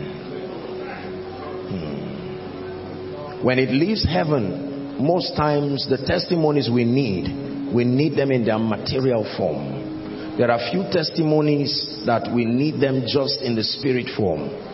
I'm praying every human agent that must partner with God, partner with the systems of God to see to it that this request is granted. We compel them by the Spirit to do so now. In the name of Jesus. Every death sentence written here in the name of Jesus we cancel it now. Hallelujah. Let it be done. So shall it be. We establish it in the name of Jesus. Now we want to round up by prophesying over our lives. This for me you've heard me say this is the best part of the service. Because this is where everybody gets an opportunity for spiritual realities to be created in your life. Please, I want you to agree with me. Every proclamation that will come, receive it by faith, believe it, and shout a loud amen as proof that you believe it. Are we together? In the name of Jesus Christ. Delay comes to an end now delay comes to an end now. Delay comes to an end now. Everything representing shame and reproach in your life and that of your family. It comes to end this night in the name of Jesus.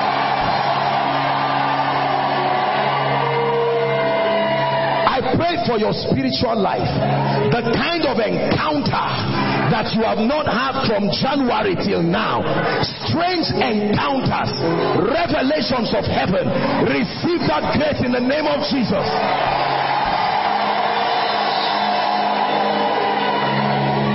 And if our God is for us, then who could ever stop us? And if our God is with us, then what? Hey, and if our God is for us, then who could ever stop us? And if our God is with us, then what? Every wall that stands before you and the next dimension, I decree and declare by the spirit of grace that was upon the nation of Israel standing before Jericho, I command every wall go down flat, go down flat, financial walls go down flat, career walls go down flat. In the name of Jesus.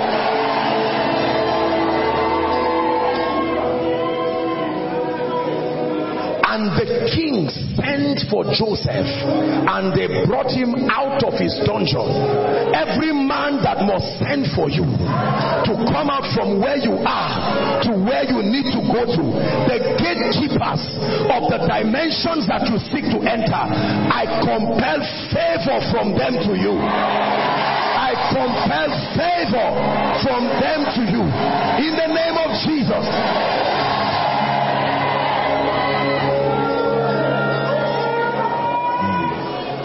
There are angels that herald the influence of a man. Listen, honor is a grace.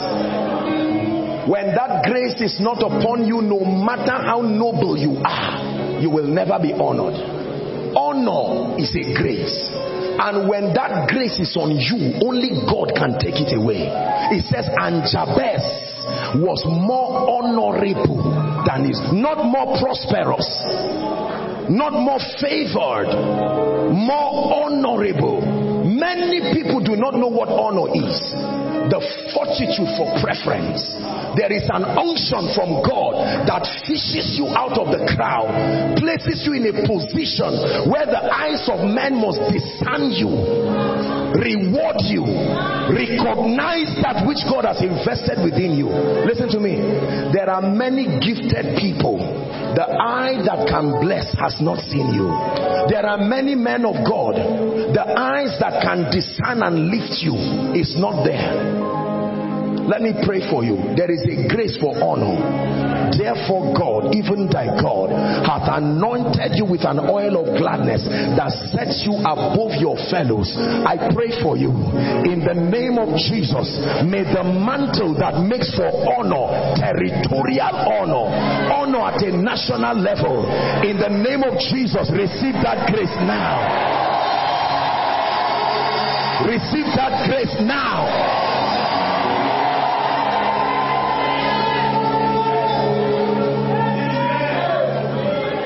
You will be surprised to see the workings of this grace in your life. When the grace for honor and favor is upon you, you will always be found in the midst of your destiny helpers. Listen, it's a mystery that cannot be explained. You will be suspended until they appear, then you come. Listen, is a waste to fight battles without reward. David said, What shall be given to the man that will do this to Goliath?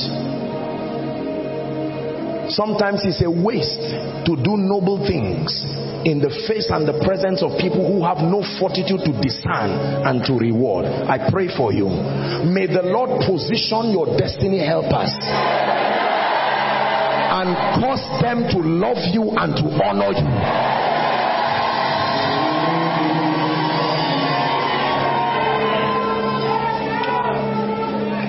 The Lord asked me to wear this as a prophetic representation of what He is still doing.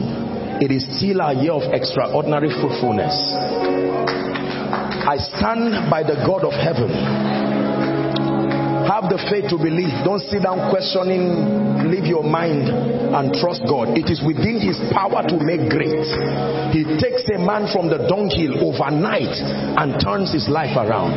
I'm praying for you. For some of you, before year is over, step into a dimension of prepared blessings. Prepared blessings. Prepared parushalata I release you into a dimension of prepared blessing.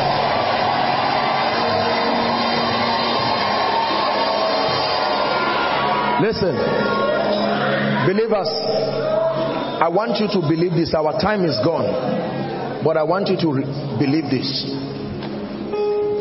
Do not doubt what the power of God can do. Hallelujah. We're rounding up.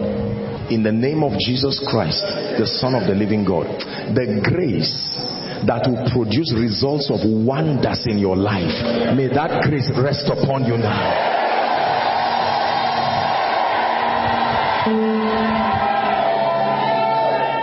Prepared blessings that take you to realms 10 years put in one month i release that grace upon you.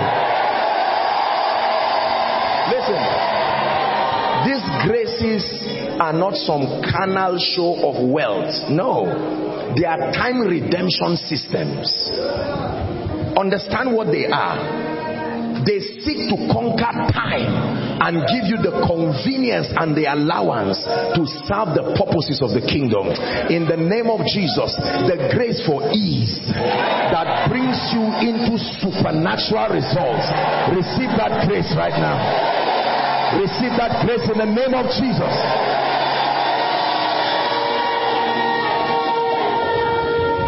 I pray for every family represented here the sound of mourning the sound of pain and anguish by the spirit of the living God. Let it come to an end this night.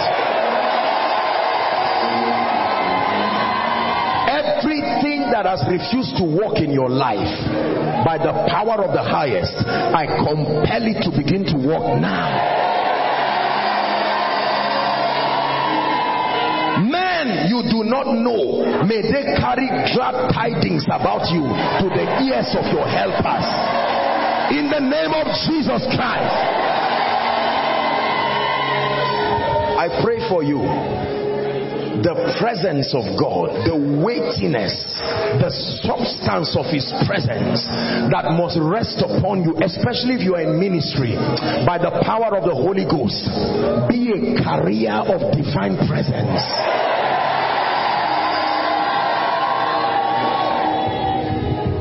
In the name of Jesus. Everyone here trusting God for a job, before this year runs out, may God give you a miracle job.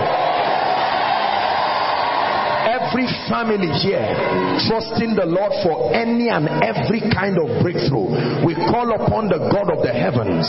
In the name of Jesus, let there be an, an abundant supply of that grace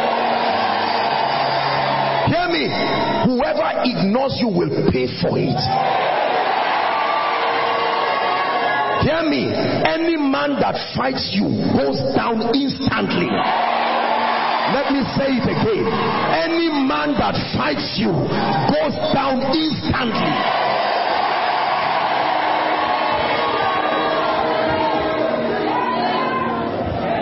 I pray for every ministry here under the sound of my voice the grace and the wings of the spirit that will take you to dimensions untold may that grace rest upon you. I pray for every man and every woman of God here, the Aarons and the Hurs that will hold your hands, loyal men indeed, may God give them to you anyone here who the testimony over your life is Ichabod, I declare by the Spirit of God a restoration happens now.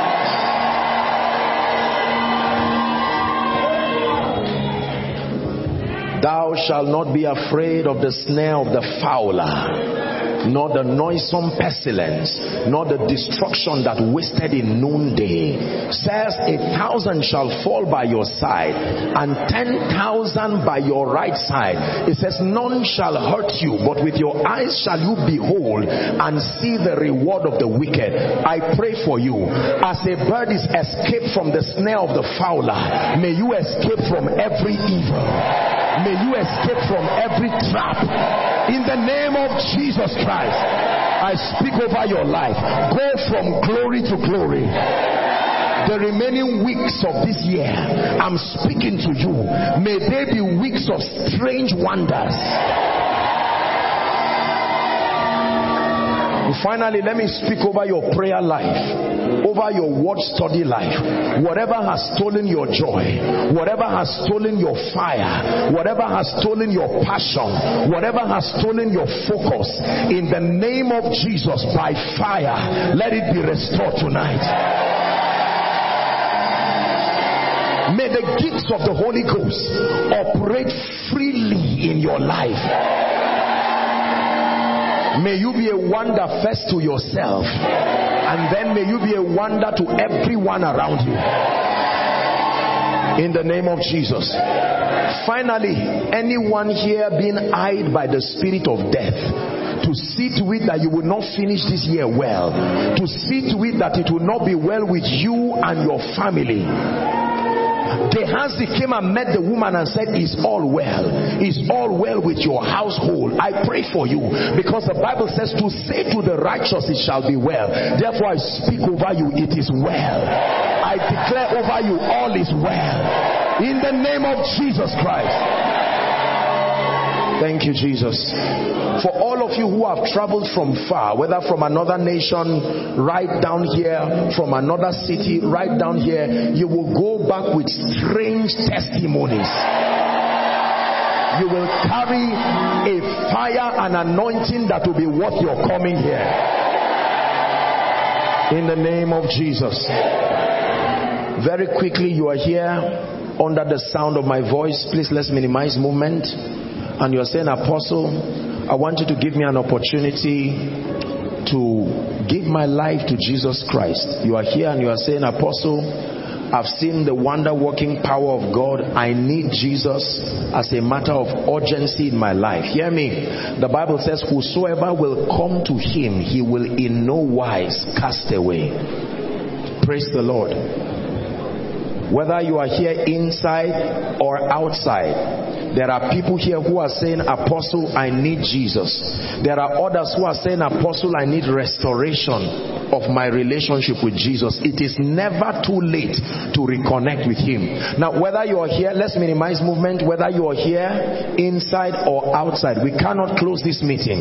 This is the last miracle service for the year. Wherever you are, whether you are rededicating your life or you are handing your life over to Jesus for the first time, inside, outside, overflow. One, two, three. I want you to run and come and stand right in front of me here. Sustain the boldness to come. Don't be ashamed. Let's celebrate them as they come, Koinonia. Those coming from outside, please clear the way for them. Above him, there's no other. Jesus is the way. Jesus is the answer for the world today. Keep coming. Above him there's no other. Jesus is the way. Jesus is the answer for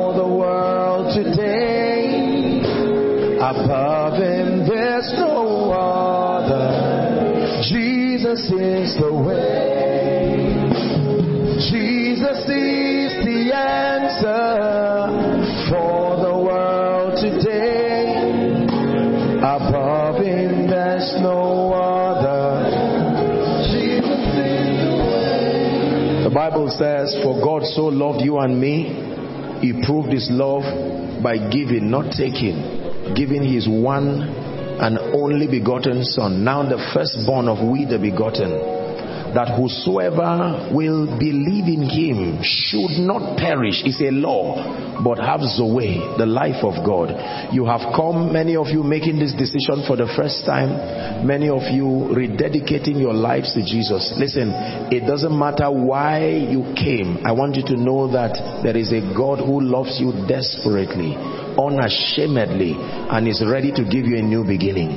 Lift your right hand and say this very passionately. Say this truthfully from the depth of your heart. Say, Lord Jesus, please, if you're joining us, quickly come, quickly come, find a space and pray this prayer from the depth of your heart. Say with me again, Lord Jesus, tonight I have heard your word. I believe. Join them quickly. Say, I believe that you are the Son of God. I believe that you died for me. I believe that you shed your blood for my sin. Tonight, I receive your life. I receive the abundance of grace and the gift of righteousness. And I declare that from tonight, until forever. I reign in life. I am a child of God. I belong to the family of God. Amen. Keep your hands lifted while I pray for you. Father, thank you. You have brought these ones by your spirit. You are able to save to the uttermost, scripture says. Thank you for drawing these ones. I decree and declare by the Spirit of God that every legal stand that the devil has against them is nullified tonight by the blood. I declare by the authority of scripture your sins be forgiven and I declare that the Lord grants you a new beginning from tonight. I declare that you go forward ever and backward never. The power to love and serve Jesus is released upon you in the name of Jesus Christ. Amen and amen. Now, very quickly, there are a number of you. Um, there are two gentlemen waving their hands. You can follow this aisle or this one, whichever will take you to the same place. Please follow them as we celebrate them. There will be a group of people to just receive you and just share a few things with you, and you'll be back. Is this the best you can do, Koinonia? Hello, beloved in Christ. We hope this message was a something for us. If you are new here, kindly hit on that subscribe button for us and then like this video as well. Share to your family and friends to bless them because we know that this message will be a blessing to their body, to their soul, and to their spirit. We would need you to do one thing for us too. Tell us in the comment section where you were watching us from, and then if you've got any testimony for us, kindly share with us. Thank you for watching. In the name of Jesus, drought in your life that even when it is physical rainy season, it is still dry season spiritually, financially and otherwise. I decree and declare, let the rain begin to fall. Let the rain begin to fall. Let the rain